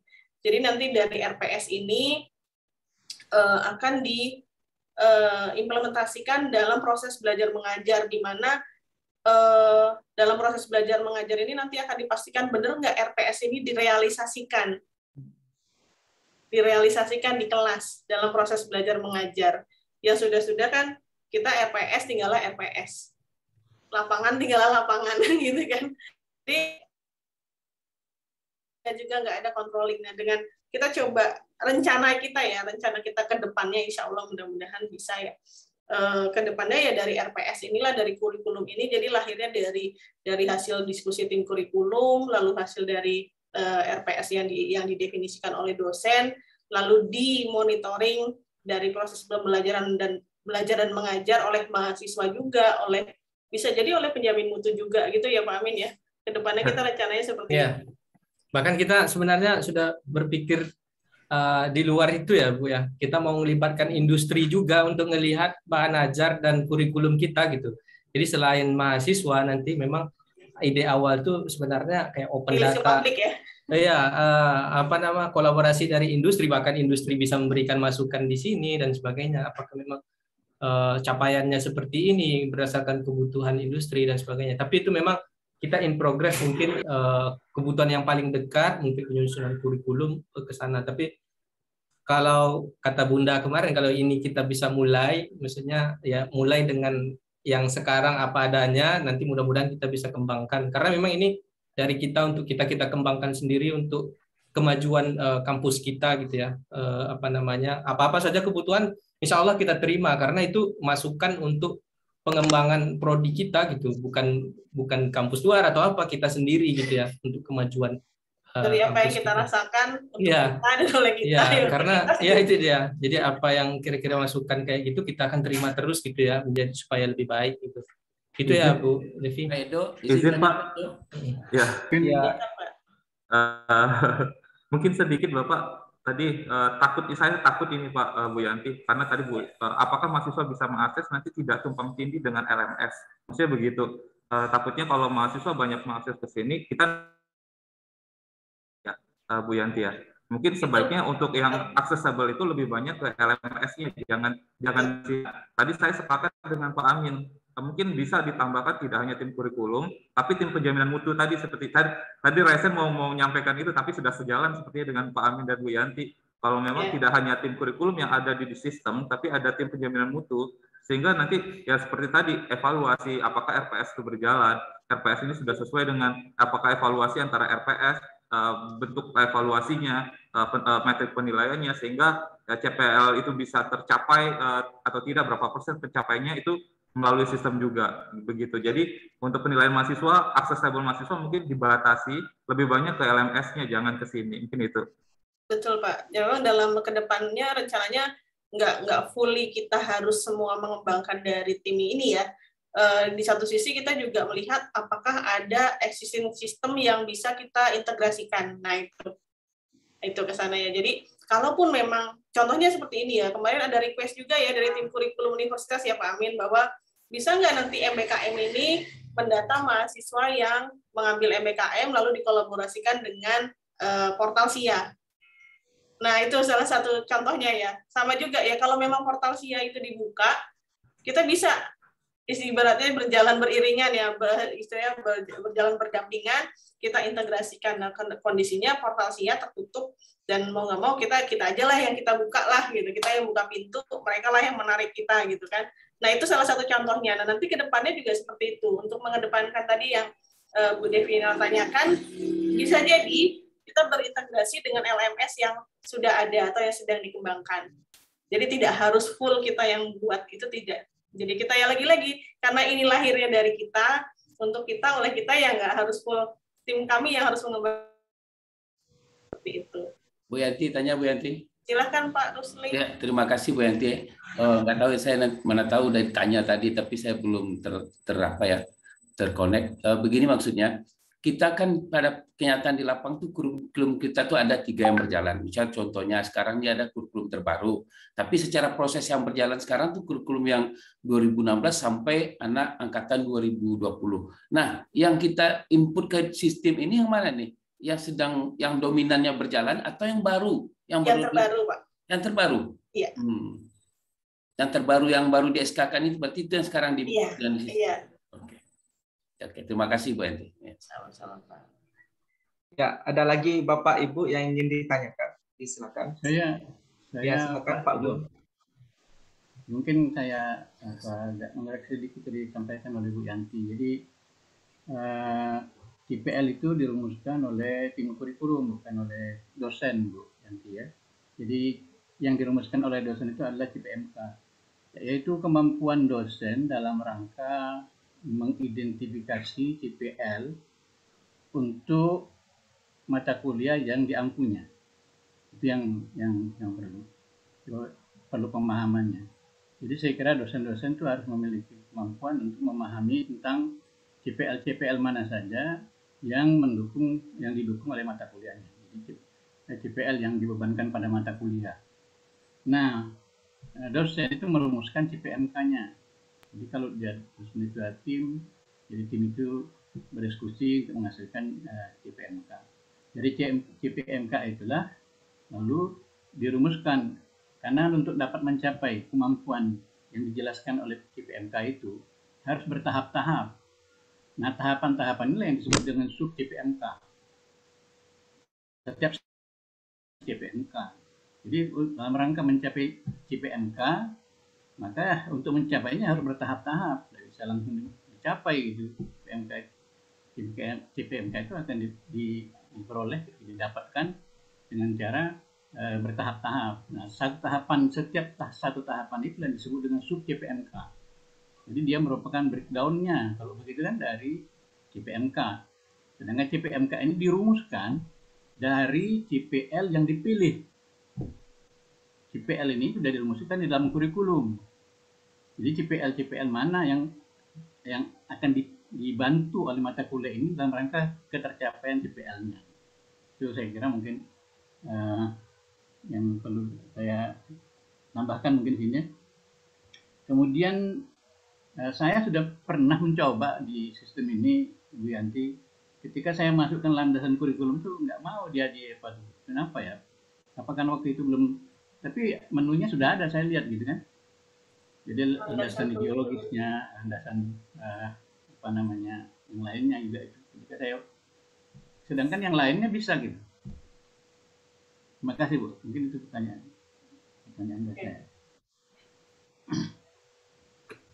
Sebentar Berarti uh, sebelumnya terima kasih Pak tadi penjelasan tambahan penjelasan tentang uh, CPL CPMK-nya.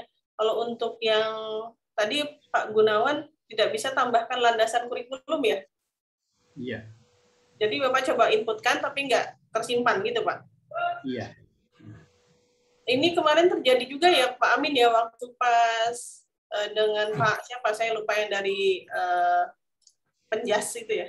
Pendor. Oh iya, ya, ya benar. Nah, jadi benar. kebetulan waktu itu masih ada bug.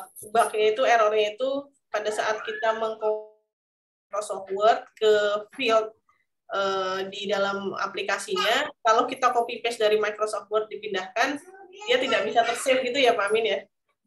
Iya, benar. Uh, Tapi ya. akhirnya udah bisa udah udah diperbaiki ya Pak Amin?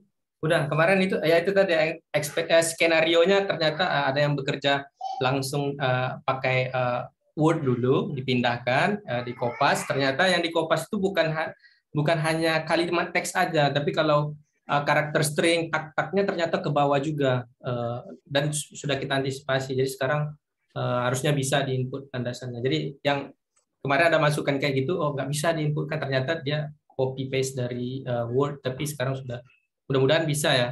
Jadi kalau ada error atau apa, feel free untuk ngirim pesan ya Bapak Ibu ke ke saya uh, selagi masih buka HP insya Allah ya masih bisa sambil jaga anak mungkin uh, balas gitu ya atau diperbaiki gitu ya seperti itu ya Bapak Ibu. Pak Gunawan udah pernah coba lagi Pak? Uh, belum sekali itulah karena tidak berhasil deh tunda dulu. Jangan, jangan putus asa Pak. Jangan jangan kecewa ya Pak. Sudah, sudah Bu, Bu Yanti sudah saya coba tambahkan sudah masuk ini sudah. Copy paste dari dari Word dari. Word. Iya. Uh, sudah masuk ini landasan filosofisnya Pak Gun. Mungkin Pak Gun bisa cek karena Pak Gun tim kurikulum pro juga tiba-tiba tim kurikulum kaget ini kok saya dulu ada tim kurikulum juga di aplikasi saya. Lupa juga apakah ke mana mengisi atau dipilih juga bingung. Tapi ini bisa sudah sudah bisa di. Sudah bisa ya. ya. Ya ini udah muncul sih permasalahan ini dari awal waktu masih belum ada Telegram itu sempat ada dosen yang nanya terus langsung diperbaiki. Itu ya Pak Gun. Dicoba lagi ya Pak Gunawan. Ya, terima kasih. Sama-sama, ya. Pak. Ya, uh, pada Bapak Ibu masih ada lagi yang ingin ditanyakan sebelum kita lanjutkan kepada narasumber kita. Mungkin narasumber yang kedua seperti ini aja ya, Pak. Oh, jadi kita ya, Pak, kita aja jawab saja ya, Pak ya. ya. Saya sebenarnya asistennya Bu Yanti aja. Asisten.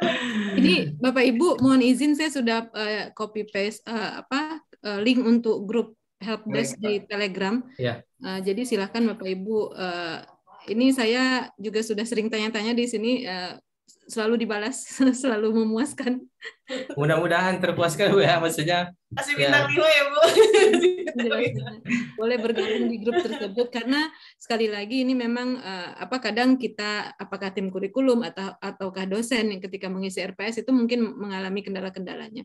Ya, tapi memang uh, sangat dibutuhkan bantuan tim kurikulum dulu ya Bu Yanti Pak Amin betul ya untuk me, me, me, mengisikan atau menginputkan baik CPL, matriks-matriksnya tadi itu tim kurikulum memang uh, ini dulu lah uh, apa input itu dulu mungkin ya sebelum dosen bisa uh, masuk ke RPS.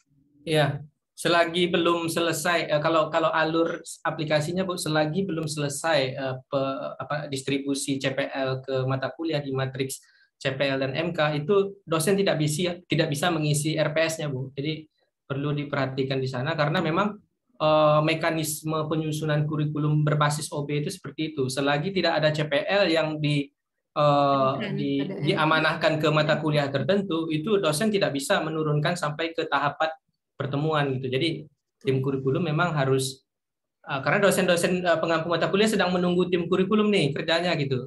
Jadi yeah. kurikulum harus duluan bekerja gitu ya, menyelesaikan matriksnya. Minimal matriks CPL MK dulu Bu, kalau udah CPL dan mata kuliah itu bisa, uh, matriks yang lain mungkin bisa nyusul lah.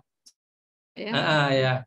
Tadi kan mas kalau dari menurut Pak Gunawan bisa juga uh, eh, CPL ke MK itu apakah dosen yang bersangkutan. Jadi uh, kalau kita lihat di uh, ya mana sebenarnya mana mana mana mana mudahnya atau mana ininya oleh prodi masing-masing ya. Mungkin tim kurikulum itu kan mewadahi beberapa grup eh beberapa uh, KJFD ya. kajian. Uh, ya memang kita belum KJFD, kita belum belum uh, diresmi belum belum sedang dalam tahap nih Pak, tapi pastinya di tim kurikulum juga sudah uh, bagian dari itu gitu ya. Uh, mudah-mudahan sehingga uh, bisa bisa lebih cepat uh, untuk mengamanahkan itu tadi CPL tadi pada uh, mata kuliah.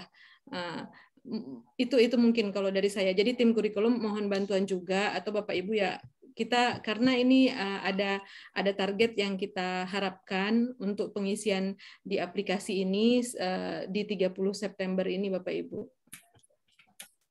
Di tim kurikulum untuk sementara begadang dulu beberapa hari supaya RPS-nya bisa terisi. Oh ya tambahan Bu Santi mungkin dan untuk Bapak Ibu dosen tim kurikulum kita uh, di aplikasi itu sediakan uh, menu statistik uh, bukan tanpa sebab gitu ya karena dari menu statistik itu kita bisa menganalisis proporsi distribusi CPL itu ke mata kuliah. Ada CPL yang sedikit kali, ada yang ternyata banyak CPL-nya dibebankan ke mata kuliah tertentu. Kadang-kadang ketika kita mendistribusikan mata kuliah, CPL itu ke mata kuliah kan kadang nggak sadar, bahkan ada yang tercecer gitu. Jadi sebelum sebelum di, uh, di diumumkan ke dosen pengampu mata kuliah, dianalisis dulu uh, di menu statistik uh, uh, dan di di samping-samping tab uh, uh, apa namanya di matriks itu pun juga ada penjelasan kalau dia warnanya hijau berarti sudah ada CPL yang dibebankan. Jadi saya dengar dari Bunda atau Bu Reni jangan sampai uh, mata kuliah itu tidak ada dibebankan CPL Uh, jadi uh, jadi nganggur ya mata kuliahnya. Ini ini kandidat mata kuliah yang bisa dihilangkan gitu. Tapi pertimbangan menghilang ini tidak tidak tidak sesederhana ya orang yang sudah bertahun-tahun mengajar itu tiba-tiba kita hilangkan ini bisa jadi konflik. Uh, apa namanya? Uh, ya di, di, dilihat dulu bu ya, maksudnya uh, distribusinya dan sebagainya di menu statistik itu ada. Begitu juga untuk oh ya saya ingat tadi uh, di menu statistik oh, ya, itu. Screen, Pak Uh, boleh di menu statistik itu ada amanat uh, apa value universitas bu, ada ASRI, ada uh, COE, uh, terus um, ada uh, responsive gender dan sebagainya.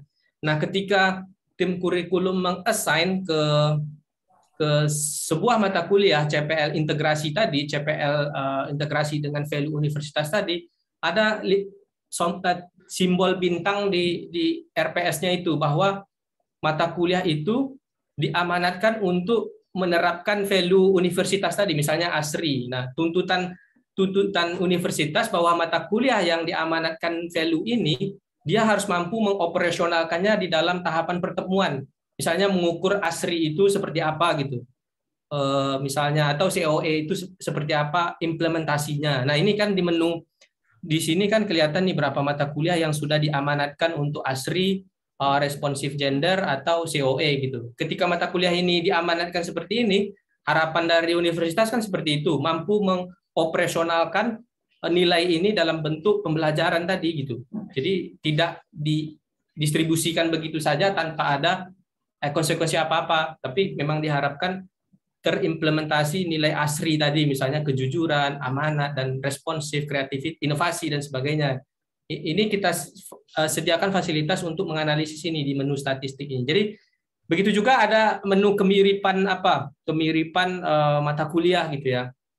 Eh, di sini ada cuma kita masih dalam tahap riset juga ya kemiripan mata kuliah ini di paling bawah Bu Yanti. Eh, kita mau menganalisis mata mata kuliah mana yang mirip dengan mata kuliah mana gitu supaya untuk analisis kandidat merger mata kuliah seperti itu berapa presentasi kemiripannya. Nah kemiripan ini kita pakai juga untuk identifikasi konversi tadi.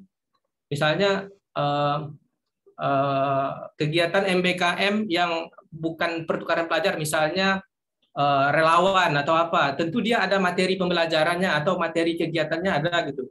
Nah, dia akan match dengan materi pembelajaran yang ada di dalam mata kuliah gitu. Nah, ini bisa membantu kita mengidentifikasi mata kuliah mana yang bisa jadi kandidat konversi eh, kegiatan MBKM tertentu. Jadi intinya kalau dosen rajin mengupdate RPS-nya, mengisi materi pembelajarannya, dan tim kurikulum menginputkan materi kegiatan MBKM, nah gampang nanti konversinya. Maksudnya sistem sudah ada fitur untuk membantu rekomendasi mana saja mata kuliah yang yang mirip presentasinya seperti apa. Saya dengar ini dari tim kurikulum universitas sedang merancang uh, presentasi kemiripan ini. Uh, kalau dia thresholdnya misalnya ya, kalau uh, 60% ke atas Eh, konversi 60% ke bawah eh, pengakuan saja. Ah, misalnya seperti itu contohnya, tapi sampai hari ini kita mungkin belum eh, belum belum belum menerima ya SK aturan konversi konversi konversi itu ya. Jadi kita masih menunggu juga.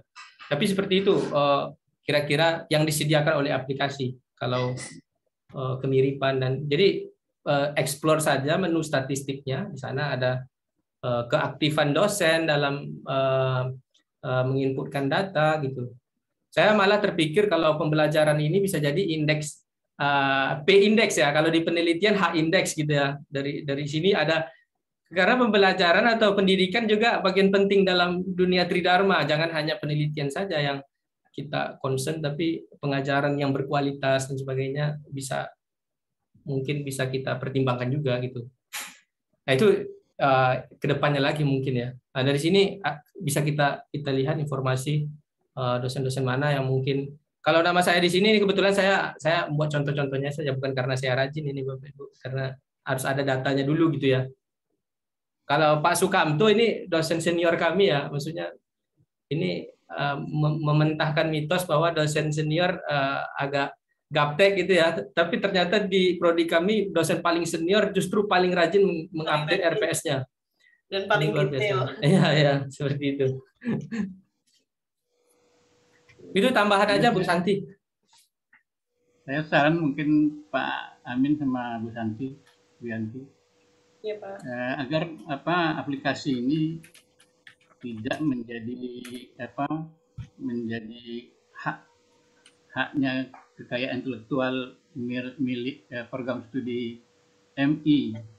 Tapi saya menyarankan menjadi eh, haknya universitas sehingga diakui sebagai satu aplikasi universitas secara keseluruhan.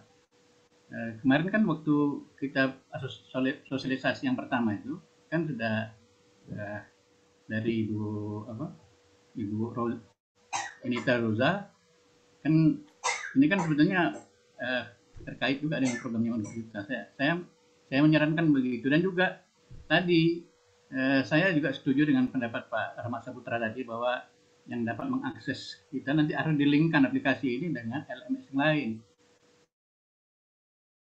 apa di itu Pak Iwan Iwan dari PIPA mengatakan kan LMS-nya universitas sedang dikembangkan sekarang agar uh, kita akan mengaplikasi. Saya sekarang mencoba menggunakan LMS-nya universitas tapi macet-macet gitu ya.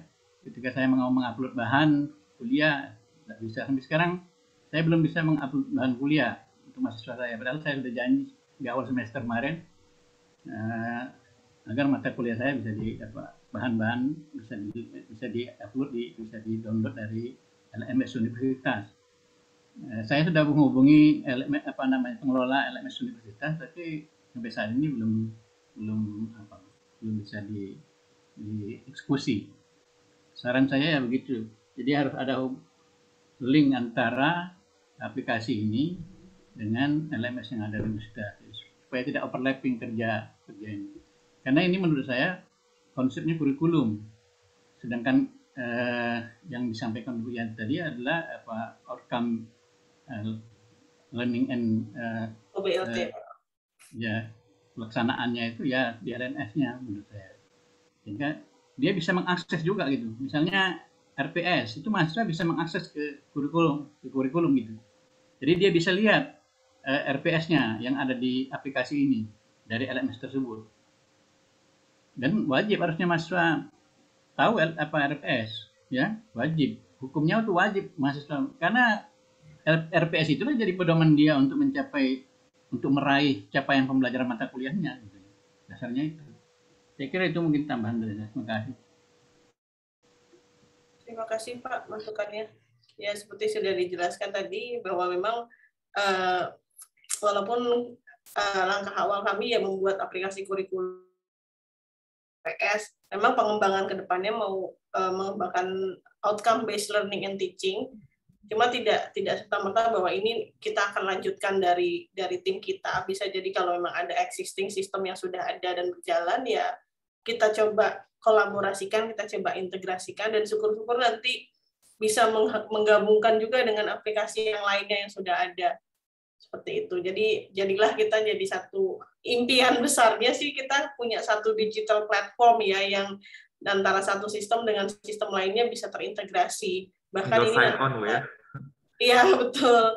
Dan bisa dipakai oleh nggak cuma tim uh, dosen dan tim kurikulum, bahkan tadi ya seperti yang hasil diskusi saya dan Pak Amin tadi ada penjaminan mutu juga yang bisa masuk ke sini untuk memastikan bahwa apakah RPS lagi-lagi ada siklus PPEPP ya, lalu juga ada ada ada pengecekan apakah dalam setiap periode tertentu RPS ini terupdate, terevaluasi. Nah, di sini sudah ada dia oleh apa di tim kami dibuat ada kayak semacam logbooknya ya Pak Amin ya untuk melihat bahwa ini ada proses perubahan dari setiap RPS. Nah, itu yang bisa dipakai nanti untuk uh, tim penjamin mutu mengecek bahwa ini ada siklus evaluasi dalam kurikulum di setiap prodi. Seperti itu. Terima kasih Pak Gunawan atas sarannya. Ya, uh, terima kasih Pak Gunawan. Uh, mengenai HKI ini, hak kekayaan intelektual, nanti kita bicarakan dengan universitas. Memang apa namanya harapan kita memang ini menjadi apa namanya legal digunakan universitas ya sebagai miliknya universitas. Nah, terus untuk integrasi, hmm, karena eh, tahap awal ini untuk kekayaan intelektual ini memang bagian dari uh, penelitian Pak Kun. Uh, kemarin tahapannya awal penelitian kemarin ada invitation dari kurikulum uh, bagian kurikulum universitas bagaimana bisa mengadopsi sistem ini. Minimal bisa menginspirasi oh kita harusnya punya sistem seperti inilah di di, di universitas. Mudah-mudahan berguna bermanfaat. Itu yang uh, kami harapkan Uh, untuk uh, tambahan dari uh, untuk Bu Yanti mungkin yang disampaikan Bu Yanti tadi uh, apa namanya kebetulan kami juga penjaminan mutu di fakultas jadi uh, semua overlap pekerjaan juga ada ada ekspektasi juga dari sini uh, apa namanya dari dari bagian penjaminan mutu gitu. Minimal uh, apa kalau nanti misalnya kita adakan audit mutu RPS dilakukan audit mutu RPS belum sampai ke pengajaran lagi bagaimana kualitas RPS yang dibangun oleh dosen. Nah, kita sudah punya datanya gitu. Sudah tinggal kita tambahkan fitur untuk reviewer um, untuk memberi skor masing-masing RPS ini skornya berapa? Apakah CPL-nya sudah diturunkan ke CPMK uh, mengikuti standar ini? Nanti setiap prodi dapat skor, yang skor tinggi dapat reward dari rektor. Mungkin kayak gitu ya. Harapan kita ya, Pak. Ya? jadi uh, uh, bisa jadi, jadi kayak jangan gitu. sampai nanti sistem ini jadi gara-gara nih gara-gara ada sistem ini jadi jadi mesti kasih reward ke dosen gitu. Ya, gambaran uh, dalam antusikat ini seperti itu. Tentu yang sudah dibuat harus dievaluasi mutunya ya. Sejauh mana RPS itu sudah dibuat dengan baik dan sebagainya. Tapi bukan dalam rangka sebenarnya bukan dalam rangka mengakses atau apa, tapi membantu dosen untuk membuat RPS-nya lebih lebih baik lagi gitu ya. Mungkin itu ya. Ya, uh, mungkin sebelum Bapak dan Ibu yang lain bertanya, mungkin saya ada yang ingin ditanyakan juga Bu Yanti, uh, Pak Amin. Mungkin uh, entah saya terlewatkan di grup Telegram, saya kurang uh, kurang ini lagi ya membaca di grup. Pertama itu adalah uh, dari deskripsi dari profil lulusan awalnya. Saya mencoba dengan Bu Emma sebelum kami diskusi lebih, lebih lanjut dengan Bu Santi, itu uh, di deskripsi dari profil lulusan itu apakah diberikan jumlah maksimum huruf atau karakter kata yang dimasukkan gitu. Karena kami coba copy paste copy paste panjang-panjang waktu itu ada yang terpotong gitu Pak Amin. Dan apakah itu diberikan batasan maksimum? Itu yang pertama.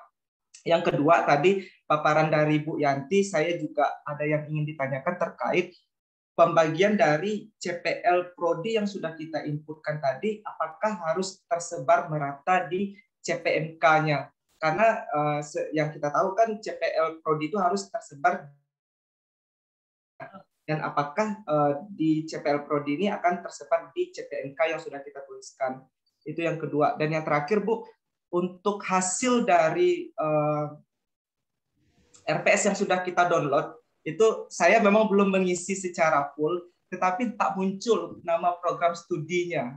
Nah, itu oh, ya. bagaimana ya, Bu? Ya, coba. Mungkin tiga pertanyaan itu Bu Yanti dan Pak Amin. Oke, sebentar. Pastikan aja ya. Ini saya share, coba share lagi ya. Iya Bu. Nanti Pak Amin bisa sambil bantu jelaskan. Saya izin jawab dulu yang bagian teknisnya ya Bu Yanti ya. Boleh, boleh.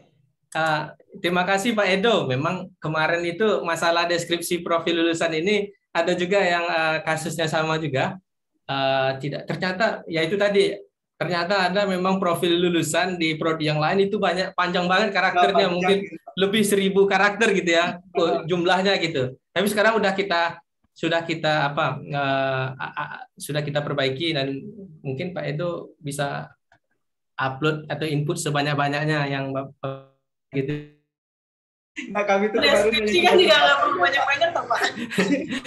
Iya. kan bukan profilnya. Bukan, ya deskripsinya ternyata memang ada panjang. Itu sudah kita perbaiki, sudah sudah bisa harusnya diupload panjang-panjang ya. Ke, kemudian CPL disebar, disebarkan ke CPMK. Nah, sece, nah, secara teknis di fitur RPS yang kita sediakan itu ada uh, persentase jabaran uh, eh, CPL ke CPMK, CPMK ke sub CPMK, sub CPMK ke tahapan pertemuan. Nah, fitur itu kita buat. Nah, itu dia yang uh, warna merah itu sengaja saya uh, kosongkan satu biar kelihatan padahal belum diturunkan ya. Nah, itu kalau sudah 100% berarti CPL-nya sudah ter ter apa ter, terjabarkan ke CPMK semuanya. Mengenai kualitas turunannya itu nanti lagi. Itu itu itu kerjaan reviewer ya.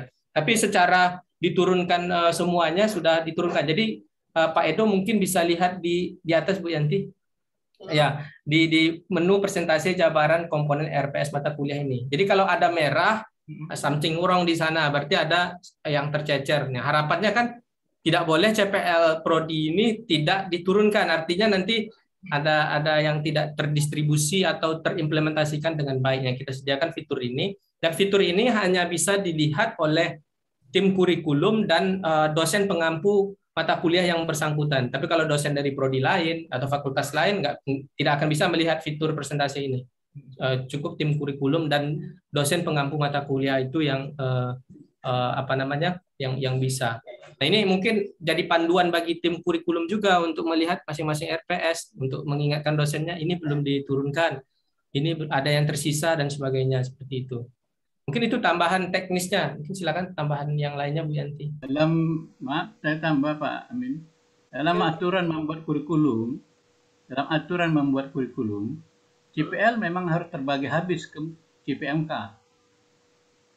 Itu sebabnya kenapa, kenapa munculnya mata kuliah. Mata kuliah itu karena muncul akibat karena dia mencapai CPL. Jadi tidak boleh ada CPL, ada CPL yang tidak terbagi ke CPMK harus ya. Nah ini eh, jadi beberapa beberapa kurikulum yang sudah ada mungkin tidak pernah memperhatikan itu. Inilah mungkin kerja dari eh, jaminan mutu nanti mengoreksinya gitu kan. Ternyata iya. ada kok di kurikulum ini CPL-nya belum terbagi ke CPMK kalau menurut aturannya harus tidak bisa. Karena dasar orang dasar kita mem, me, apa namanya menetapkan membuat mata kuliah itu adalah CPL dasarnya. Tidak mungkin dia tidak tidak ada CPMK-nya, harus ada. Itu dasarnya. Tapi karena mungkin kita berjalannya dulunya tidak apa, tidak menggunakan konsep itu, ya sekarang saatnya lah gitu.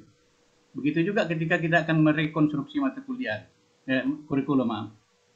Ketika akan merekonstruksi kurikulum, kurikulum itu berubah karena pertama karena profilnya, karena CPL-nya gitu. Lalu dengan eh, CPL yang CP, CPL, CPMK yang ada matching apa enggak? Kalau tidak matching lagi atau dia overlapping maka, itulah namanya kita merekonstruksi mata kuliah kurikulum. Mungkin ada mata kuliah yang harus digabungkan, ada mata kuliah yang bertambah lagi, ya itu dasarnya gitu. Itu konsepnya kurikulum saya kira. Tambahan saya, terima kasih. Ya, terima kasih Pak.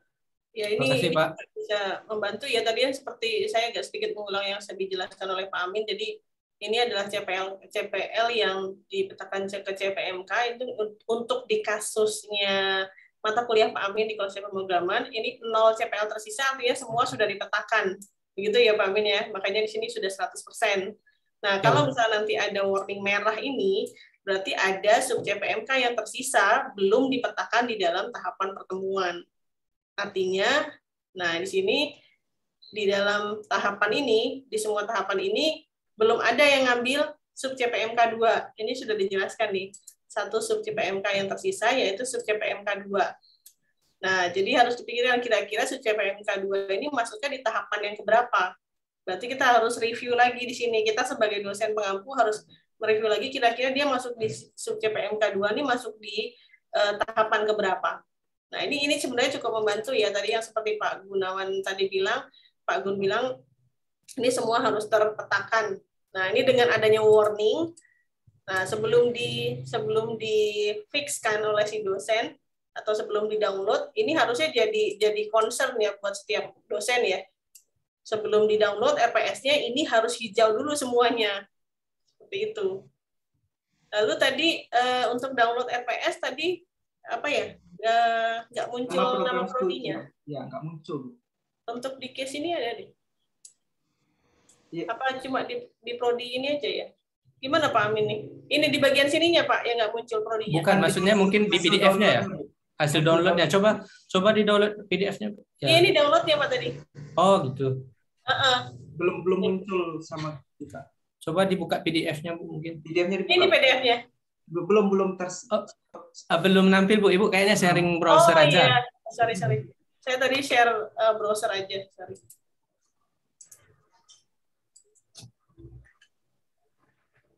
Nah, iya bagian ini Bu enggak muncul. Ini belum muncul, Pak? Enggak, enggak muncul di kami, Bu. Apakah harus diisi terlebih dahulu baru nanti muncul atau seperti apa gitu? Oh, nggak perlu diisi Pak Edo, itu otomatis dia. Uh, nanti saya cek lagi ya Pak Edo ya. Uh, uh, makasih apanya informasinya. perlu dicek ulang. Iya. Uh, uh. Okay. Ya, terima kasih uh, Pak Amin dan Bu Yanti jawaban uh, dari pertanyaan saya. Mungkin Bapak dan Ibu yang lain silakan jika masih ada yang ragu atau yang ingin ditanyakan dari tim kurikulum di masing-masing program studi silakan bertanya atau masing-masing uh, ketua jurusan juga boleh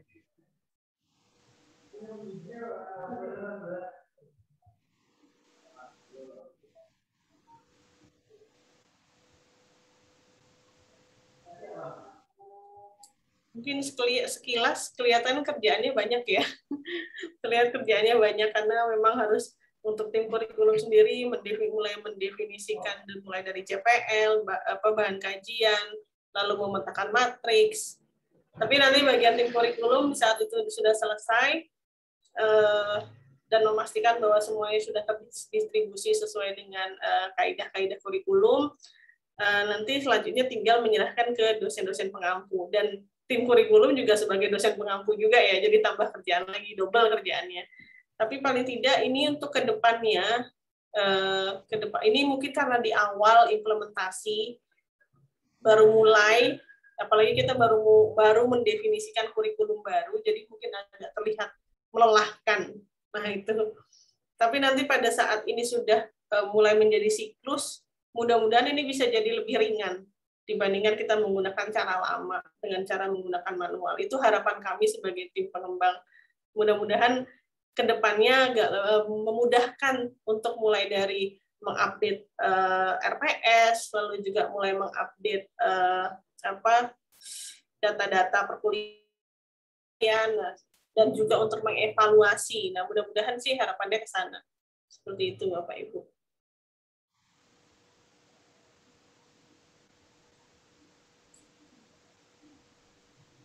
banyak banyak pekerjaan prodi ya Bu ya sekarang ya. Ya, LKPS juga Pak.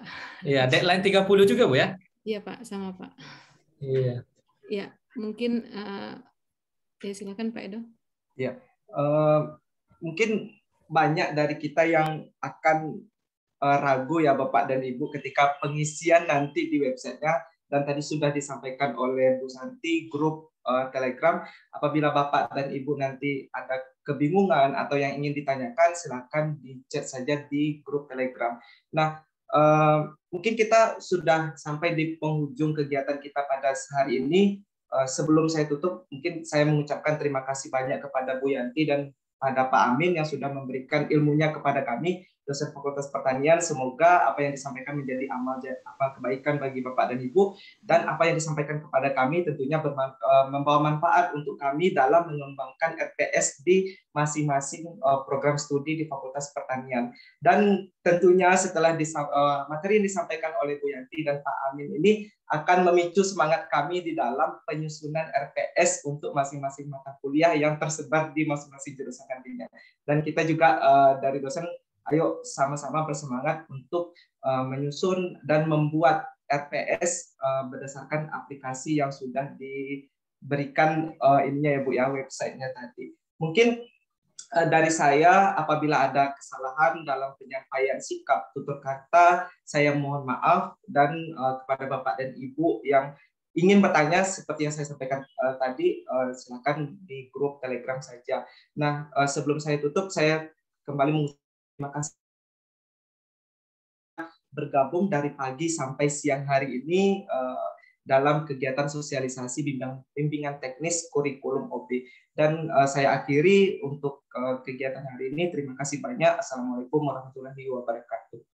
Waalaikumsalam warahmatullahi Terima kasih Bu Yanti, Pak Amin, Bapak Ibu semua. Terima kasih sama-sama Bu Santi ya. Pak Edo. Selamat menginput-input. Selamat menginput-input. Ya, jangan sungkan kabari kalau ada kalau ada masalah ya Bapak Ibu. Ya, ya. kabari. Kalau ada error jangan putus semangat. Masih tanya saja nanti diperbaiki. Mudah-mudahan selesai sebelum 30 September. Amin. Amin. Ya, semangat Bapak Ibu. Terima ya. kasih Bapak ya. Ibu. Izin live ya Bapak Ibu. Ya, terima kasih Pak. Insya